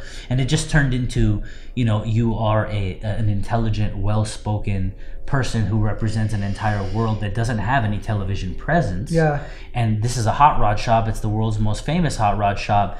Um, you know, we we have the idea to have a guest builder, Yeah. and so you in your world you are the one, and in their world they are the ones. So why don't we bring them Bring together? it together. Yeah. So they, they gave me the opportunity to to even pick the car, Yeah. And then um, design and lead out the actual physical build of their of Gas Monkey Garage's first Japanese import build, which Yeah. is massive, That's massive, dude. massive. Yeah. And so that was a huge deal, man. So a lot of people don't know I'm a real low key dude. I just I went out there and I lived in Dallas Yeah. and I went to Gas Monkey Garage and worked every day. And we filmed and built the car, and the car debuted at least publicly at SEMA. And the episodes will be coming up. I think the new season starts February 26th Oh, okay. of 2018. Yeah, I'm And looking forward to that. Mm-hmm. However, they place it's a two episode deal, so the build will show uh, be shown over two build uh, two episodes. Yeah. And uh, you know, whenever they decide to air that, or or for all I know, they could can it. I mean, they can do whatever they want, but I don't believe they are. I believe it'll be on TV. And uh, you know, it just came about. Uh, to, to be a little bit more philosophical, it came about because of my work ethic. Yeah. I would like to believe it came about because I present myself well and I speak uh, respectfully and intelligently. And, and once again, I just I keep wanting to tie in grammar, but we'll, we'll get to that if we have time. Let's definitely talk about that. Um, but um, but yeah, man. So um, so it, it's just a, a my my personal build and velocity and SEMA. I have SEMA to thank. yeah. And um, and um, it just got to a point where they were like, we think that you should do this, and next thing you know, I'm signing contracts and non-disclosure agreements Yeah. and financial agreements, and uh, and it happened. Yeah, and you and you, you flew out to Texas. Dallas. right? Yeah, yeah. And, you were living there. Oh yeah. yeah. I lived out there and went to Gas Monkey Garage every day, man, and Cool, worked. man. How was your experience of being on TV? Uh, TV is an interesting world. Yeah. I mean, if you need to do something and you do it, um, they might want you to do it again. Because, yeah, because you know maybe the lighting wasn't right. Somebody made a noise when they weren't supposed to. When the, when there's microphones on, right when you were like, well, the reason why I did this was, and someone across the shop accidentally dropped something. It could be something as simple as that, where they can't use the audio. And so, Yeah. can you just say that again? All the way to. Uh, you know, it is a television production, so it has to be produced for people to see it. Yeah. And so the, the the experience as far as television as a production is, it's very interesting. Yeah. It's a lot harder than people think. Um, and so, you know, but I mean, it's like anything, man. You have to just adapt. Yeah, absolutely. You just have to deal with it. yeah. How how was uh living in Texas? How was that? Texas is a beautiful state. Uh, The Dallas Fort Worth area, Irving area where I was, it's nice, man. Yeah. Nice. Um, and uh, you know, I was very excited for why I was there. So that helps. You know, your mindset helps Yeah. with everything. So, you know, I just uh, I enjoyed my time over there. It, you know, I'm in a foreign state. I don't really know anyone. I'm Yeah. there to build a car, so I just zoned in. That's cool, man. and I focused on the car. And Yeah. uh, the Datsun was a smash hit at oh, SEMA. dude, it was awesome. I mean, the you know the people that you you want to uh, even an unofficial stamp of approval would be Datsun guys. Oh, yeah. because the Datsun people are that's a cult like following, and there a lot of them tend to be purists, Yep. and they want things done a certain way. Yeah. But I generally got a very very very big stamp of approval from the Datsun community and like the Japanese classic community. yeah, yeah. Yeah. And I appreciated that because I wanted to stay true. That's why it has a Datsun. Uh, the, the, like there's like Datsun esque parts that were modified, but you don't think they were something else. Yeah. Nissan, I used an SR20 to keep it within the family Yeah. weight distribution. There's all kinds of stuff involved with that. Yeah. If, if people want to read about the car, Yeah. Driving Line did a very very nicely done photo shoot and article, and Speedhunters. Mm-hmm. Yeah. So if you guys just Google like Big Mike Gas Monkey Garage Datsun, Yeah. Driving line and speed hunters links will come up so you guys can learn about the car and then obviously tune into uh, fast and loud Yep. to watch the two episodes February. oh well the se- this new season starts february 26th and I are don't you know what- saying the episodes can I don't know like what episodes yet. Yeah. It'll be two consecutive episodes back to back. Yeah. But I don't know what where they'll place it. But yeah, man, support me because what I did was not for me. I did it for the culture. Absolutely. I did it for the industry to show on national television the amount of planning and detail and Yeah. execution that import guys Yeah. use. And it's going to show them that there's history, racing lineage, pure, like a purist perspective, a racing perspective. There's so many factors that went into that car. And when they see how much planning and effort went into it, I think any real car guy, whether he's a, a muscle car guy or not, is going to appreciate that. Absolutely. And that is shattering and helping to shatter the stereotypes Yeah. Mm-hmm. that exist about our world to the rest of the world. Yeah, man. And that's my goal. Yeah. I'm an ambassador, if you Yeah, will. absolutely, dude. And also, like you're, you, I know you were t- uh, touching on this when we were eating earlier um, with everybody, but I think like your reasoning behind picking that chassis was just like genius, man. You know what, dude? The fact that they found one was was pretty awesome in the condition that it was in. yeah. But uh, being able to to choose the chassis gave me the opportunity. Seventies Datsuns are timeless, man. I mean, two forties, two sixties, They're two eighties. appreciated by like everyone. by everyone. I mean, you have Bob Bondurant Racing School, Paul Newman, you know, the actor, he raced them. There's so many uh, uh, titles, SCCA titles. There's such a rich racing history Yeah. that that chassis and those body lines I felt would be the great uh, bridge Yep. again as a bridge because if I had picked a Civic it doesn't matter how fast or powerful or nimble Oh, a Civic a was. Civic, to yeah. hot rod guys, they'd be like, they built a fucking Civic, and they wouldn't care. Yeah. So a, a Datsun, that was, I think, the right choice. I, think so too, man. I appreciate it. Yeah, man. of course, dude. it. So, dude, you're really heavily involved in tu- the Tuner Evolution tour. How did you get hooked up with Jay and the crew, and what do you do for them at the shows? You know, man. Um, For those that don't know, Yeah, yeah. You know, it's kind of evolved, right? So it got to a point where I was doing, let's say, a lot of Wekfest, right? Yeah, yeah. I, was, I mean, I've been going to Wekfest forever. Yeah. I was going to Wekfest before it was called Wekfest. I was in the garage, right? yeah, in the Ja- in, in, in Japantown in San Francisco. Yeah. I mean, I've been I've been a part of that. I think I think the first one I went to was in 08. Okay. Yeah. Okay. Yeah. Yeah. Ten years. Okay. From the very beginning. Yeah. and uh, I went and did that, and it got to a point where um, I won uh, Best Honda. Uh, I think like four times in a row. Uh, SoCal, NorCal, SoCal, NorCal, and it kind of got to a point where it was unofficially like, you know, you got to sort of stop, you know. Yeah. Um, and so it, it just sort of segued to, hey, do you mind helping judge this time? Yeah. Cool, man. That's an honor. It's like you're winning the award. You, you you're the best one yeah, to do that. dude, and it was a really cool compliment. Yeah. and so started doing that, and then and other events over the years that had already been kind of like, hey, dude, what do you think about my car, Big Mike, etc. Yeah. it was cool. But this time it was more like, can you help judge? And then it turned into, well, what about the next one? And because I was going to support that event anyways, Absolutely. And so it kind of just turned into I was unofficially a judge, Mm-hmm. and I judged a lot of them, man. So at SEMA, um, to segue to, to Tuner Evolution. yeah, yeah. Um, uh, at SEMA, uh, let's see, maybe four years ago now. Yeah. 2018 might be five.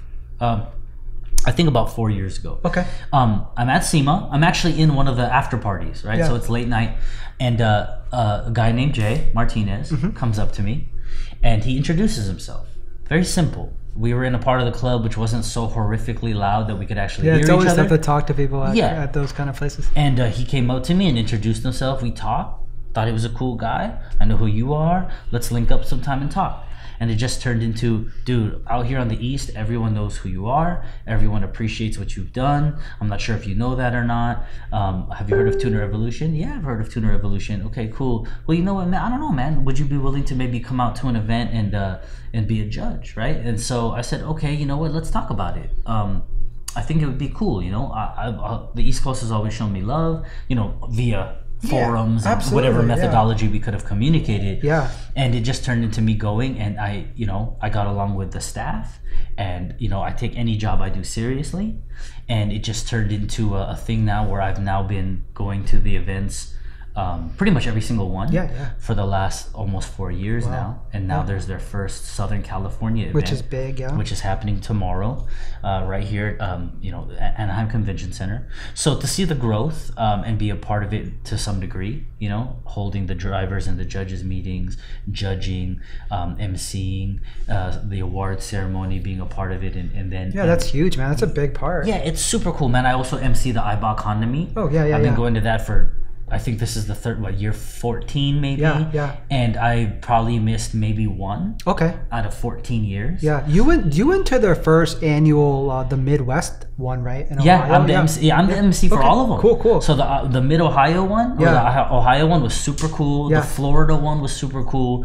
So it's kind of it kind of has just evolved to where the geography of things, the internet. Yeah. I mean, geography is almost negligible. Yeah. So someone in Jersey, New York, tri-state area, someone in SoCal, we're looking at the same event coverage. Yeah. If neither of us were there, we're looking at it from the same playing field, and so everyone has a similar perspective and, and exposure. So it, it's just turned into this thing where I now get to travel. There's an event called MIMS Honda Day, Yep, yep, which yep. Mm-hmm. is the UK's largest Honda event. I, I MC and judge over there, Yeah. so I get to travel to England, and then they're doing a Belgium edition, That's which they did last year, but I couldn't make it. Yeah. Now I'm gonna go to Belgium, and, uh, and England and Belgium, and um, you know, uh, there's just it's just crazy, man. Yeah, that's awesome, dude. That you're getting to experience all those different like car Yeah, scenes and, and the shows out and So yeah, over. Tuner Evolution is one that put a lot of effort into having me be a part of it, and I appreciate anyone who's willing to put effort into me Yeah. in, in in any context, right? Yeah. So I reciprocated.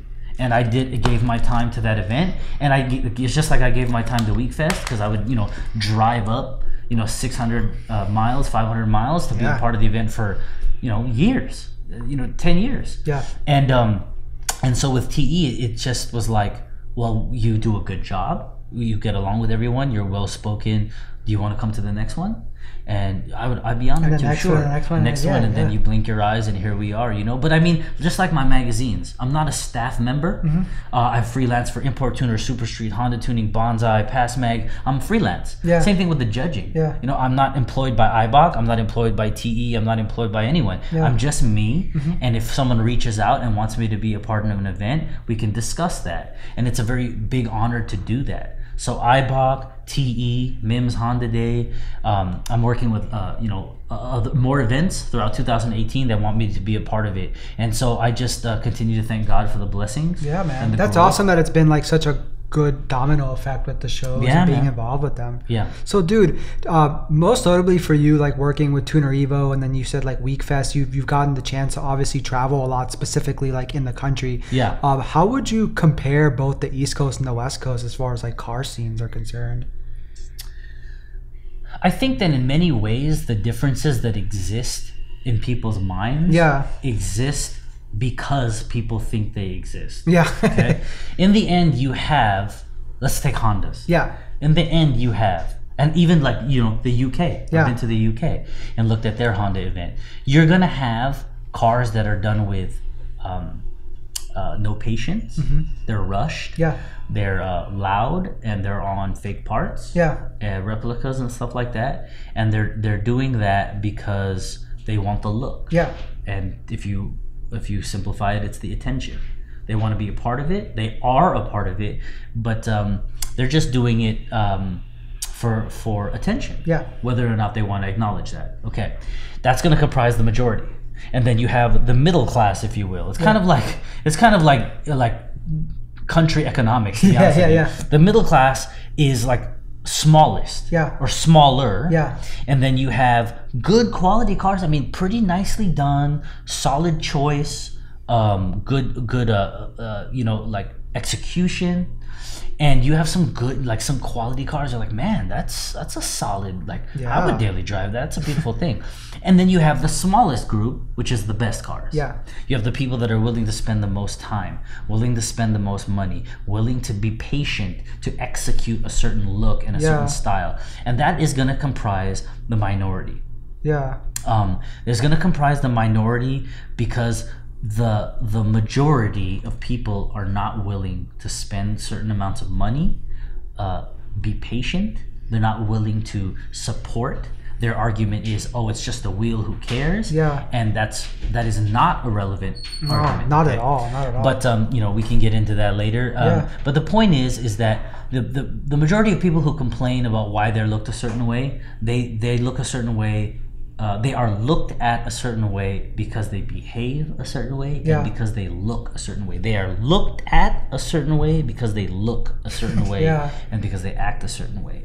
And you cannot expect to be viewed in a certain light and with a certain amount of respect if you don't earn it. yeah. And that's it's the got to thing- be earned. That's the problem. Doubt. yeah. Everyone doesn't understand. Well, how come my crew, or how come my car, or how come me as a person is looked at a certain way? How come people don't respect us? Well, first of all, the fact that you're like, how come nobody respects me? That type of potentially douchebaggery perspective, that might be very well why nobody does. Yeah, absolutely. Because you're and some people just can't like grasp. They don't that. know. They No. absolutely do They just not. don't see it. They don't see it. Yeah. Well, how come you know my car didn't get accepted into this event, or how come my friends didn't? And the internet's quick to jump on like a mob mentality. You're like, uh, I'm sorry, man. He's your friend, and he might actually be a really nice guy. But his fucking car is ugly. Yeah. And if the if the the show, because I'm not the one. I'm like so whether it be you know Mims Honda Day, whether it be uh, Tuner Evolution, whatever. I don't decide which cars get in. Mm-hmm. So I think a lot of people kind of just start taking it out on me because I you know try my best to answer DMs Yeah, and stuff. yeah, yeah. And I'm like, whoa, whoa, whoa. First of all, contact whatever show or Not me, me, or, yeah. or company Yeah. did not give you the sponsorship. So like some people they know that I know a company. They hit them up for a sponsorship. How come they didn't sponsor me, Big Mike? Man, I don't know. Ask them. Like you need to ask them. Number one, number two. If you really wanted me to answer that, I bet you if you let me saw whatever sponsorship proposal email. Yeah. By the way, I'm getting right back to grammar.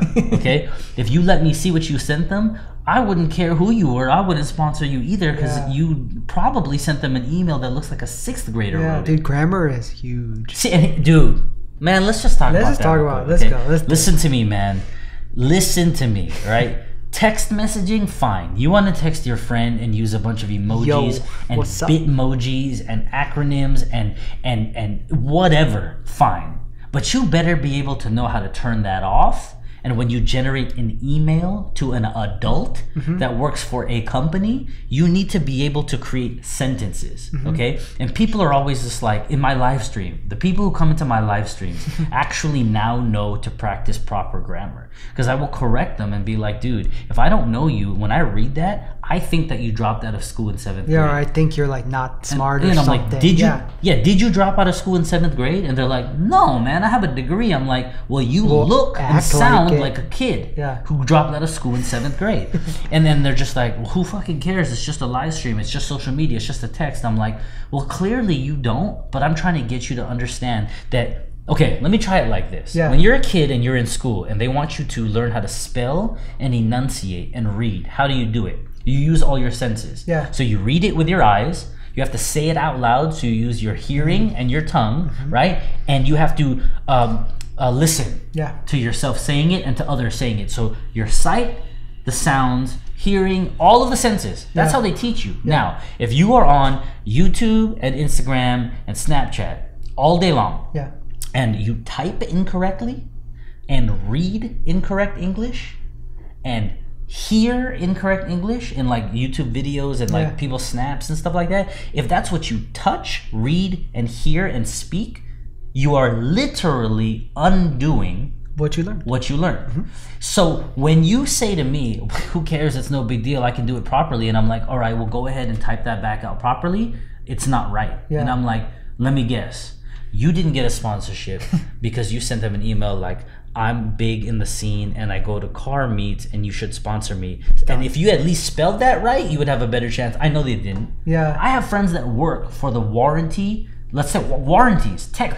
How about the tech information? So you're trying to send a tech question to a company. Yeah. It's a technical question. Yeah. And if your sentence structure and grammar is atrocious, they don't even know what you're asking. Oh, absolutely. So I have companies, or they won't even just reply. or they won't reply. yeah. It Which gets- is what these people are experiencing. Right. So you have sponsorship proposals, you have tech warranty information, or just good old regular general inquiries. Yeah. And and I have friends at companies, they show this to me and I'm like, this is laughable English. Yeah. And you know what, guys? Anyone who listens to this, that's I'm probably talking about you. and you know what? That's your fault. Yeah. So you need to fix that. If you can turn off text and Snapchat and Instagram and YouTube grammar and put Mm-hmm. on proper adult grammar, so be it. But 90% of people who do that, who say they can do that, they don't they They can't do don't. that. Yeah, because they're so in, stuck in the They're in stuck. the ways. Yeah. So in my opinion, it's better to practice it the correct way than to practice it the incorrect way. agreed, man. So that's with anything in life. Absolutely. So, Oh, anyways, learning.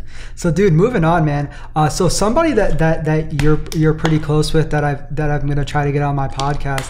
Um, at some point in time when we when we when the stars aligned is uh, Frank from Downstar. Yeah. Uh, you guys have been very cool for a while. Mhm. I know I know his bolts have you know been on your builds and stuff like that. And he you know you when you were going out on the tour or whatever you you know linked up with him or whatever. You guys did like a Big Mike X Downstar uh, collab tee. Tell us about that. okay, so uh, you know, Frank's like my little brother. Mm-hmm. He's like a younger brother to me, um, and we, we get along very well. I appreciate anyone who has a hustle and a grind and, a- and a Which he and- and with- a yeah. vision and Yeah. a dream, and so that's one reason why I rock with him. I probably don't like or agree with 65% of anything he says or does. a lot of people don't understand that there's a difference. I can be a man's friend. Yeah. I can appreciate his grind and not want to be a part of it. It's a very big difference. Mm-hmm. Yeah, yeah, yeah. Right. So a lot of in this day and age, I think people are so fucking sensitive that they don't Oh, yeah. understand that if you just because I don't like someone's music or I don't like someone's style of dress doesn't mean I'm hating on them. Exactly.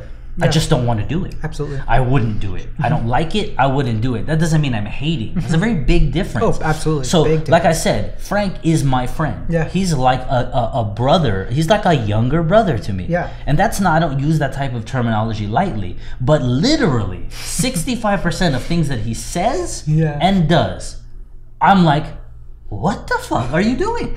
but that's his style. That's what he does. And I'm just like, I honestly think that that looks absolutely atrocious. and I'll tell him that and we'll talk about it. Yeah. Or we won't talk about it. But my point is, is that he knows that. Yeah. It's not like That's he cool that you know. guys are on that page. Well, that takes maturity. Yeah, oh, You know? And people. Because a lot of people would be like, okay. Yeah, oh, like, you're not- a dick, yeah, or you're yeah. a hater, or or like you're not a real like a real friend. Like you know what they say, don't call your friend isn't your friend if they haven't supported your grind. Yeah. Uh-huh. I don't believe that. I think that's a really cool like like internet meme, but in real life it's different. If I had a homie who sold crack, You're not gonna. Support What am I? I'm so supposed to support that? Yeah. No, man. I don't care what anyone says. Yeah. So you can you can try to give these like one-liner memes all of the power they want. Life's not a meme. Mm-hmm. Life isn't a one-liner. You know, it's it's not that simple. Sometimes you know. So anyway, so with Frank, um, you know, he, like I said, he has ideas. He has things he wants to do. Yeah. And he was the one who was like, you know, you want let's do a T-shirt, man. And and so we designed it together and just quick strike T-shirt. Yeah, Put yeah, it out Quick there. Strike, yep. Super cool, man. It was a cool thing. You know, a lot of people kind of remember that I'm from the West Coast and I actually come from a certain type of background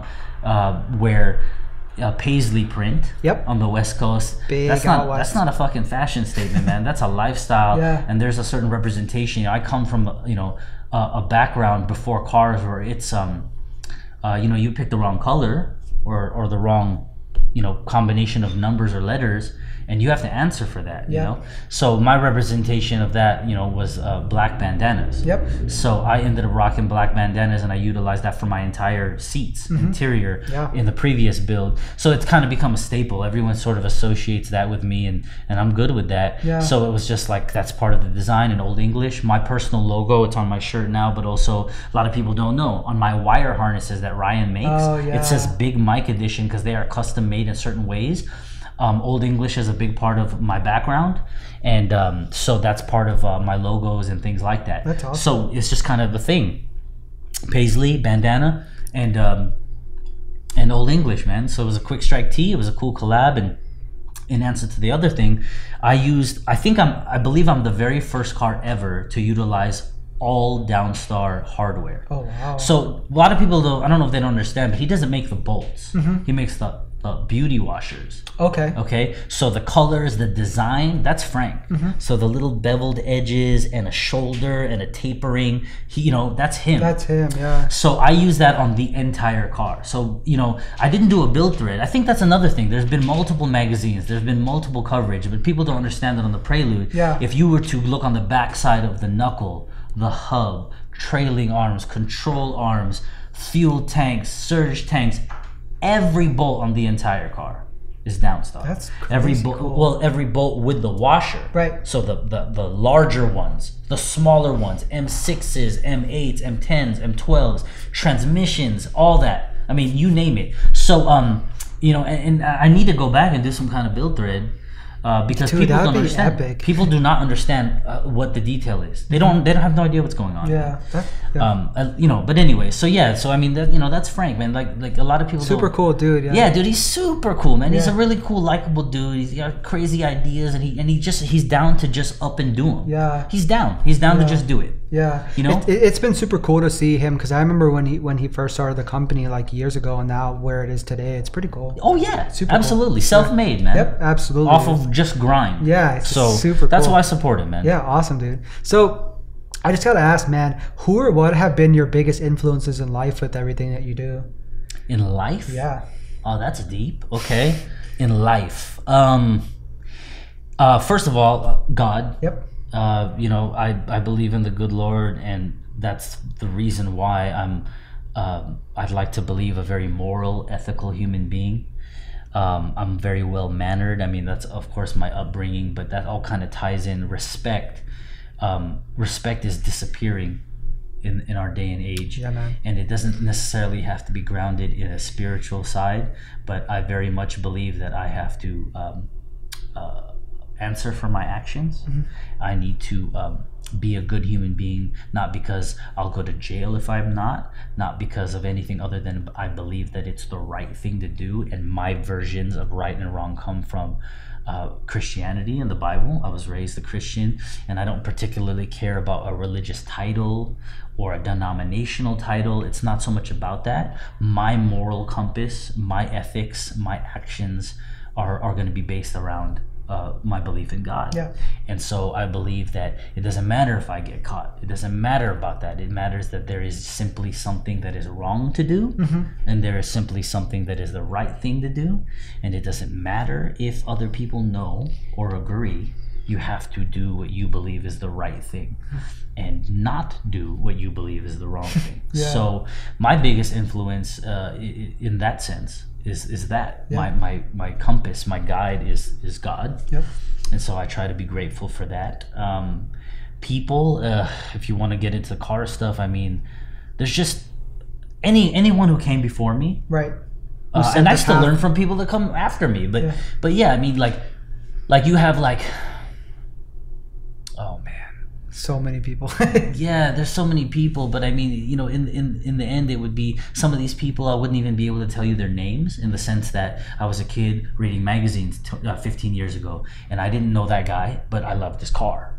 Uh, and then and it just like sparked that. yeah, that- exactly. that- And then forums, you know, um, I may never have never have learned, and to this day we'll never know that person's real name. But it was a screen name. They were active on the forum. They posted cool content or threads or whatever, which gave space to the YouTube thing. I, I'm not a big YouTuber, but I mean, you got people that subscribe and follow people every day. And they post up their life on that. So I mean, there's different inf- influences, man. But I mean, there's something grand like Senna like that's a whole different conversation but you know his his role in like the nsx and and his f1 capabilities and his accomplishments so you have something like that which is like way out there Yeah. and then you know god which some people are going to find like way way out there but then you know just anyone who came before me who worked hard and was willing to Yeah. try something different s- They just like sparked it for you. Yeah, man. It- It's it's all Yeah. about influence, man. hmm Yeah, man. Cool. Those are some good words, dude.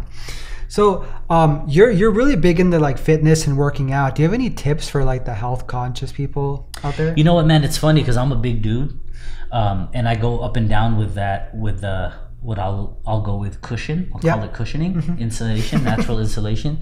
Um, right now, I actually uh, bulked up. Um, uh, I would say like mostly on purpose. Yeah. And a lot of it like traveling. Yeah. Oh man, I did so, 2017. Oh, it's so hard when you travel. Dude, 2017 was an epic year of travel for me, Yeah. and everywhere you go, there's amazing food. So if you don't, you know, cook for yourself and, and be extremely conscientious of what you eat, Yeah. you know, you can end up kind of. And I have the body type where if I eat well, my body's gonna look like I eat well. Yeah. Man, I do. I do. I have friends that own CrossFit gyms, uh, Division One uh, basketball players, Olympic power lifters. Yeah. Uh, I know girls that are physique and fitness competitors. I've seen every version of that, and I mean, I know people that eat five, seven, ten thousand calories a day, and they can't gain. Yeah. They, their body will never get fat. My I dude, let me tell you this right now. I am clearly not that type. Okay, um, but I mean, it's all about consistency. So, Yep. fit uh, fitness tips for anyone. You know what, man? Forget powerlifting. Forget CrossFit. I say forget all that shit. If you're struggling to do it, I say the eighty percent. The, the, the average percentage that people use is eighty percent. It's eighty percent how you eat, twenty percent how you train. That's- so just that- start there, man. yeah. Stop eating bullshit. Don't go through a drive-through. Drink water. Um, you know, alcohol. If you guys want to drink alcohol, drink alcohol. but don't abuse it. Here's a, there you go. Here's another thing that people don't know about me. I don't drink alcohol. oh wow. I don't consume alcohol. It isn't even a moral thing. I'm a very I consider myself a very moral person. It's not a morality thing. I just simply choose not to consume alcohol. Yeah. I don't like to to give away control of my thought process. So um, I don't. I just don't drink. It's an, if, I'm around people all the time that drink. And plus, it costs a lot, and it's not. There you go. Yeah. Um, I don't judge people. If someone wants to sit down and have a 40 in front of me or uh, three Long Islands and I know they're about to just be bent off their ass for the rest of the night and they Yeah. might get in a fight, I have to save them. Yeah. Hey, man, that's what you want to do, do you? I'm not Yeah. going to like not be your homie, Yeah. but uh, I'm not going to do it, you know? Yeah. Um, so that's just that thing. And fitness tips, man, drink more water. Drink so much water that you piss out mountain spring water. At the end of the day, man, I produce mountain spring water. I don't know if that's TMI for this podcast, but you know what, man? Like, I can literally, at the end of the day, you can look in there and be like, That's. I don't even think that this man went the, took a piss because this, you know. Uh, but anyways, uh, just drink water, man. Eat less nonsense. If they deep fried it, I don't think you should probably eat it very Agreed. often. Agreed. If they battered it and then deep fried it, don't think you should eat that very often. you want to enjoy a meal. You want to go out with your peoples, your girl, whatever. Just be like smart about yeah, it. Yeah. du- dude, you want to indulge. I mean, life's short, enjoy yourself. But that whole thing, like YOLO, life short, man, you know, half the time why life short? It's because your ass has gout and diabetes because you ate like a dumb shit. Yeah. So uh, just have some resp- take some responsibility. We are not a victim to our circumstances. So you know what? You want to lift weights, man? Go lift weights. Don't try to do too much and, and, and try to you know do weighted dips and blow your shoulder out. In my opinion, nothing beats plyo and calisthenics, right? Yeah. I'm actually like way more nimble and agile than I look, man. Yeah. I'm just a big. I eat a lot, and I you know and I'm nim- you know, but I, I work out very consistently. I can do weighted pull-ups. I can do clap push-ups. I can do weighted Wow. dips. I can do stuff that it doesn't look like I can do. And if I were to be extremely strict, which I'm thinking about going back to being because I used Yeah. to be, to to just get an aesthetic that is a little more appealing to the world, I guess. But just because it's bad to have fat on you, Right, So forget yeah. the aesthetics. It's unhealthy to have fat. Absolutely. I mean, I'd probably be able to do a very good amount of pull ups and push ups and dips and all that jazz. But, anyways, tips to, to, to, to summarize man, plyo and calisthenics, push ups, pull ups, dips, and sit ups, and you can never go wrong. Absolutely. There's an 80 year old dude at the gym. He walks in there, shoulders are back, uh, back is straight, chest is out, great posture. You can tell he's old by his face and his hair. Yeah. But his posture, you're like, oh damn, it makes you want to stand up straighter. Yeah. He takes the little stool, he walks over, puts it down, steps up, he reaches up to grab the chin up bar. Yeah. This is an 80 year old man. That's insane. Okay? Yeah. Chin up bar Yeah. he holds it because he's not that he's like you know everyone's taller than me i'm not a tall dude so he stands up and he, he reaches it on the little step stool Yeah. right this is 80 years old my dude and everyone stops what they're doing and watches him he's holding it he lifts his legs up Yeah. to 90 degrees and just starts doing chin-ups Wow. with his legs at 90 degrees 80, just wow. doing chin-ups perfect slow controlled like this all the way to the chin Yeah. all the way down and someone asked him where does that come from and he's like dude i was an army ranger you know 60 years ago Yeah. 60, years ago When he he was was in the 20, military when he's 20 years old he's like we didn't have any of these machines we had nothing we did push-ups pull-ups dips sit-ups and we ran Wow. He's all, and that works. And he's, I mean, there's an example of health. Yeah. You can snatch and cling and clean and jerk and deadlift and power lift all you want. That man's 80 years old and he is healthy. Mm-hmm. I don't think that you're going to be healthy doing that if you do that for 60 years. Yeah. You're going to blow something out, and people do all the time. Oh yeah. So keep it simple, man. Just eat better first, first and That's- foremost. the- yeah, that's a You have to control what you eat. Yeah. I mean, I know that it might be weird for everyone looking at me. I'm a big dude. Uh, you should see what I can do. and if I get focused, which I'm actually getting back, like I said, I enjoyed 2017 immensely. Yeah. And I'm gonna enjoy 2018, but I'm gonna be a little bit more A little bit regimented, re- yeah, regiment, yeah. about the way I eat. You Yeah, know, makes sense. So, um, but th- that's what I say to everyone. It's all about what you eat and drink. Mm-hmm. You clean up what you eat and drink first, and watch what happens to your body. Mm-hmm. You combine that with just a decent amount of basic exercise. Don't even go to the gym, man. Get a pull-up bar in your garage or the ones that are in the doorway, and just try to do pull-ups, push-ups. And that mix with eat, with eating right. Yes, and sit-ups all you and, need. and just stretch and go swimming. Dude, Done. you'll clean up quick. Yeah.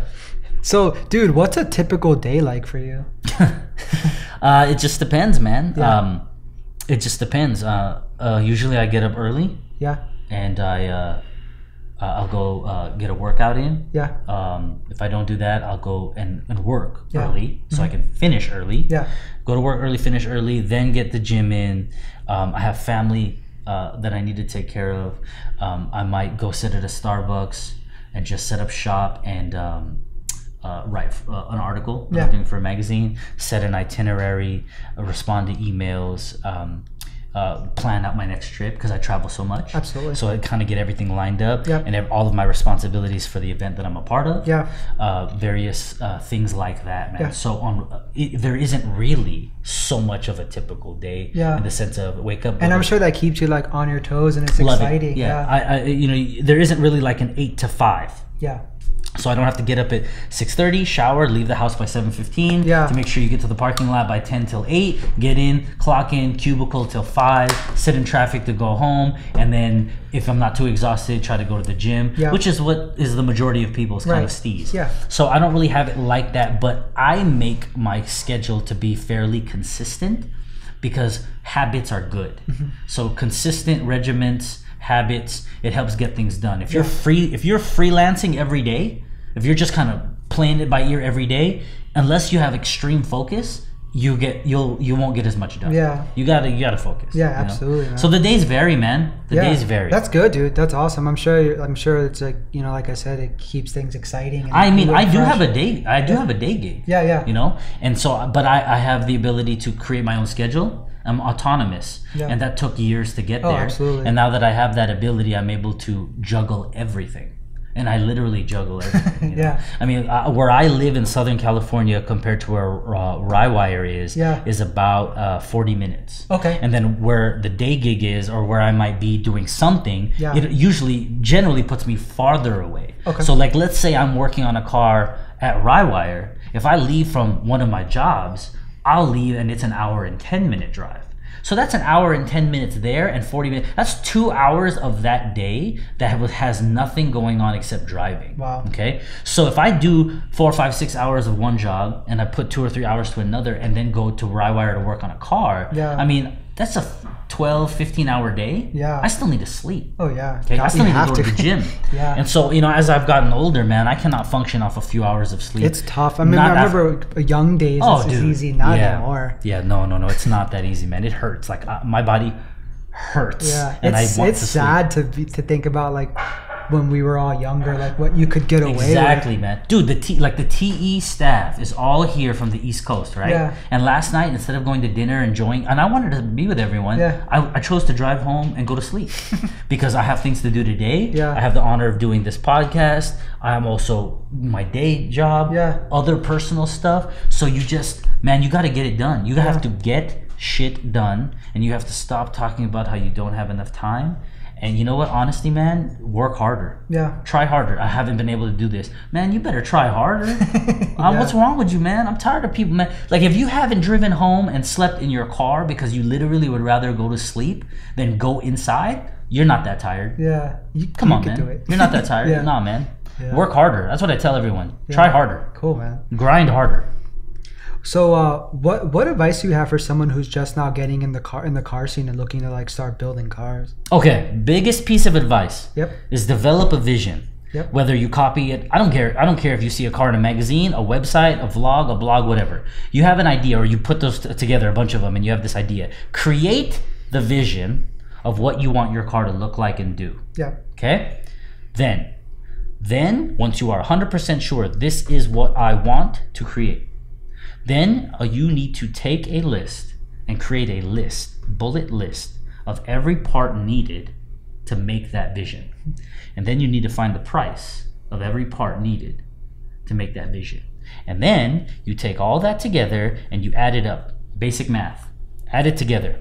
When you look at the final number, if your current financial situation does not allow for you to do that in a fee, in a time frame that you decide is acceptable, now that's where it's gray. Yeah. If it takes if it takes you six months of saving, some people can do that. If if you make minimum wage and you're trying to modify a car and you see that number and you're like it would take me years, well guess what? It's gonna take you years. But you know what? People do not have the fucking testicular fortitude to wait it out. Mm-hmm. What they No do patience. is they don't have patience, right? And I get that because the world is going, going, and you look at Instagram and every day someone's got a new mod, and you can't live by the Joneses, man. So you take your vision, you price out and list out everything needed to create your vision, and you go about doing that vision. If the number total, which is the reality of life, it, it costs money. Yeah. If that reality of life is that number is a number that you cannot afford, that means that A, you need to save up longer and accept that it will take you longer to build your vision, or you need to be put that vision aside and go make more money. Because you know what, guys? That's what it is. This is not a hobby that you make money doing. This is a, a, a passion and a culture, and you are going to spend your money. So if you can't afford your vision, don't don't sacrifice the vision. Don't pick fake wheels because they look the same. Don't do a shitty ass paint job because a quality one's more Or expensive. Don't the do homie that. hooked it up or Yeah, something. don't do that. Yeah. If you have a vision, don't settle for anything less. And if you cannot wait, that's a personal problem that I can't help you with. Those are some good words, man. That's the reality, man. Map it out. And if you look at a number and says to build this car will cost me $30,000, right? And you make $35,000 a year, you literally cannot afford to build your car. Which means you need to go and go back to school, Make double, start a triple, business, yeah. go make more money, get a side job. If you don't have three jobs, then you you could work harder. Mm-hmm. If you're sleeping, if you sleep eight hours a night, then you could work more. Okay? I mean, it's a matter of perspective. I mean, dude, there are ways to make money that don't involve physical labor. Mm-hmm. Okay? And I don't mean the lottery and, and, and, and stocks and bonds necessarily, but, you know, start a business. You know, Sell start a stuff off the side. I mean, yeah, Yeah. you know, I mean, if you if you are trying to build a car, and you have on uh, retro Jordans, okay, and um, uh, whatever, let's say a Supreme tee, Yeah. right? You got quality clothing on, right? And you're like, I can't afford to build my car. You have to reassess your priorities. Yeah. Okay.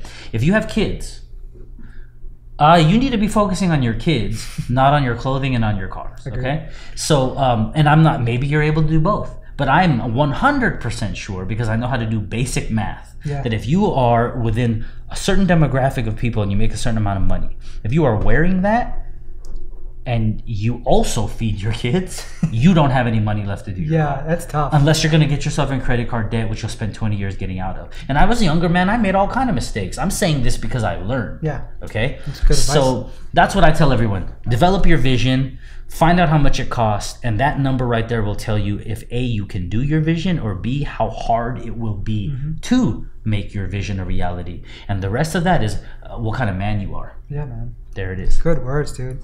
Dude, I think that's a that's a good good uh, place to just like kind of end it, man. So Okay. like I'm out of questions. Uh, do you have any like closing thoughts or like shout outs uh, before we end this thing? You know what, man? I think uh, kind of what we ended up segueing to right there at the end. Yeah. That would be sort of what I would have ended up doing. Uh, you know what, guys? It takes years. Um, I'm 35 years old. You know, I got into it. Uh, you know, it depends on how you want to start saying. Where, where's your starting point? Yeah. I was a kid that would go to the grocery store and grab a magazine and just read it. Uh, Super Street Import Tuner, Honda Tuning, Turbo Magazine, Sport Compact Car, all of them, right? M- almost none of those exist anymore except Super Street. Yeah. But I would, I'm just saying, like I would, I would look at that. I was 14, 15 years old, right? Is that when I started being a part of it?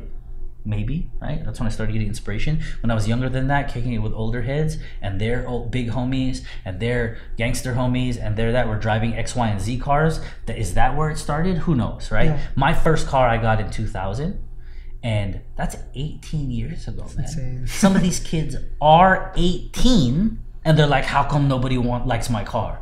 Man, I've been in it as long as you've been alive. Alive, yeah. And as long as I've been it, there's someone who's in it a decade longer than me, and that's who I looked up to. You know, so take your time, man. Stop being an impatient little kid. Stop being. You don't like it. You have to uh, accept the fact that you're being an impatient child. You have to take your time, earn your stripes, and spend your money. Build something that is worth you presenting to a company and saying, "This is what I built before."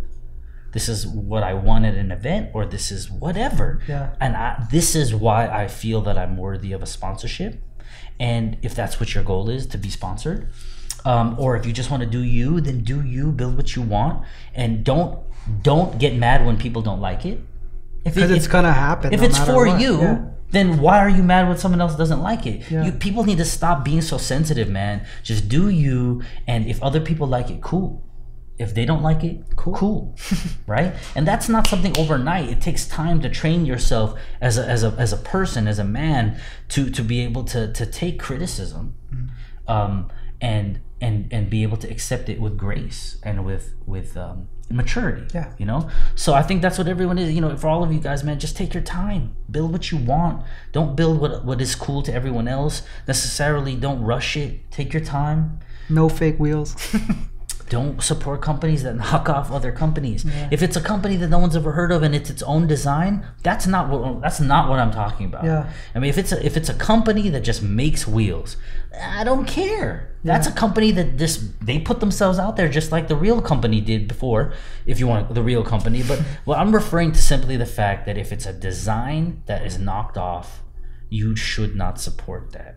If it is if it is a company that just makes wheels, then they're wheels. If Yeah. that's what you want, cool. But if it is a design that is being ripped off of another company that made that design popular, then do not try to justify to yourself or to anyone else that it's okay to buy that because it's not. Mm-hmm. It's not ethically and it's not uh, business wise is not acceptable is not okay don't try to convince yourself or everyone else if it's just a company that makes wheels and you like the wheel design no one's heard of it then that's different i think people somehow confuse uh, uh, no name wheels Yeah. or unknown wheels maybe unknown's better Yeah. to brand name to fake versus real Mm-hmm. i think fake is sort of this broader category where it's like well i've never heard of you so know it must be fake. yeah, it It's must be fake. But no, if that design is their own design, that's not fake. Yeah. It's just a company that no one else has heard of. But Yeah. no one would have heard of of of, of Rays wheels if you go back far enough. Mm-hmm. They started. Yeah, they were but- new at some point. Yeah. Exactly, but they they went and created designs that have become timeless and classic and forging processes that are the standard, and now they are the benchmark, and they earned that. Yep. And so some other company makes a TE knockoff or a CE knockoff and sells it, and you buy it, and you try all. to act like it's okay. It's not okay. Yeah. I'm not saying you can't rock that XYZ company uh, and support them, but if they're knocking off other people's stuff, just be a man and admit that that's a knockoff. Yeah. Don't but don't try to make it seem like it's okay. So that's all I say. Everyone take your time, be patient, be willing to work hard. If you got to get a second job to fund your, your hobby, There's nothing wrong with then that. go get a second job, man. And you and it's hard to do that if you're cranking out kids at the same time. Yep. It's a sensitive subject, man, but don't be cranking out kids and trying to crank out car bills. I don't know what you do for a living, but I couldn't have three kids That'd be tough. and be and be in designer gear and build a car. Like, what do you do for a living other than swipe a, a credit card? Yeah. Because I don't know how you do that. That'd be tough. You know, I have I have, I have more than one career, and I'm not doing that. So I don't know how you're doing that. Yeah. And I see kids doing it all the time, and I don't just get like, it. "Wh- who are you? Yeah. Like, what do you do? Because that does not monetarily add up.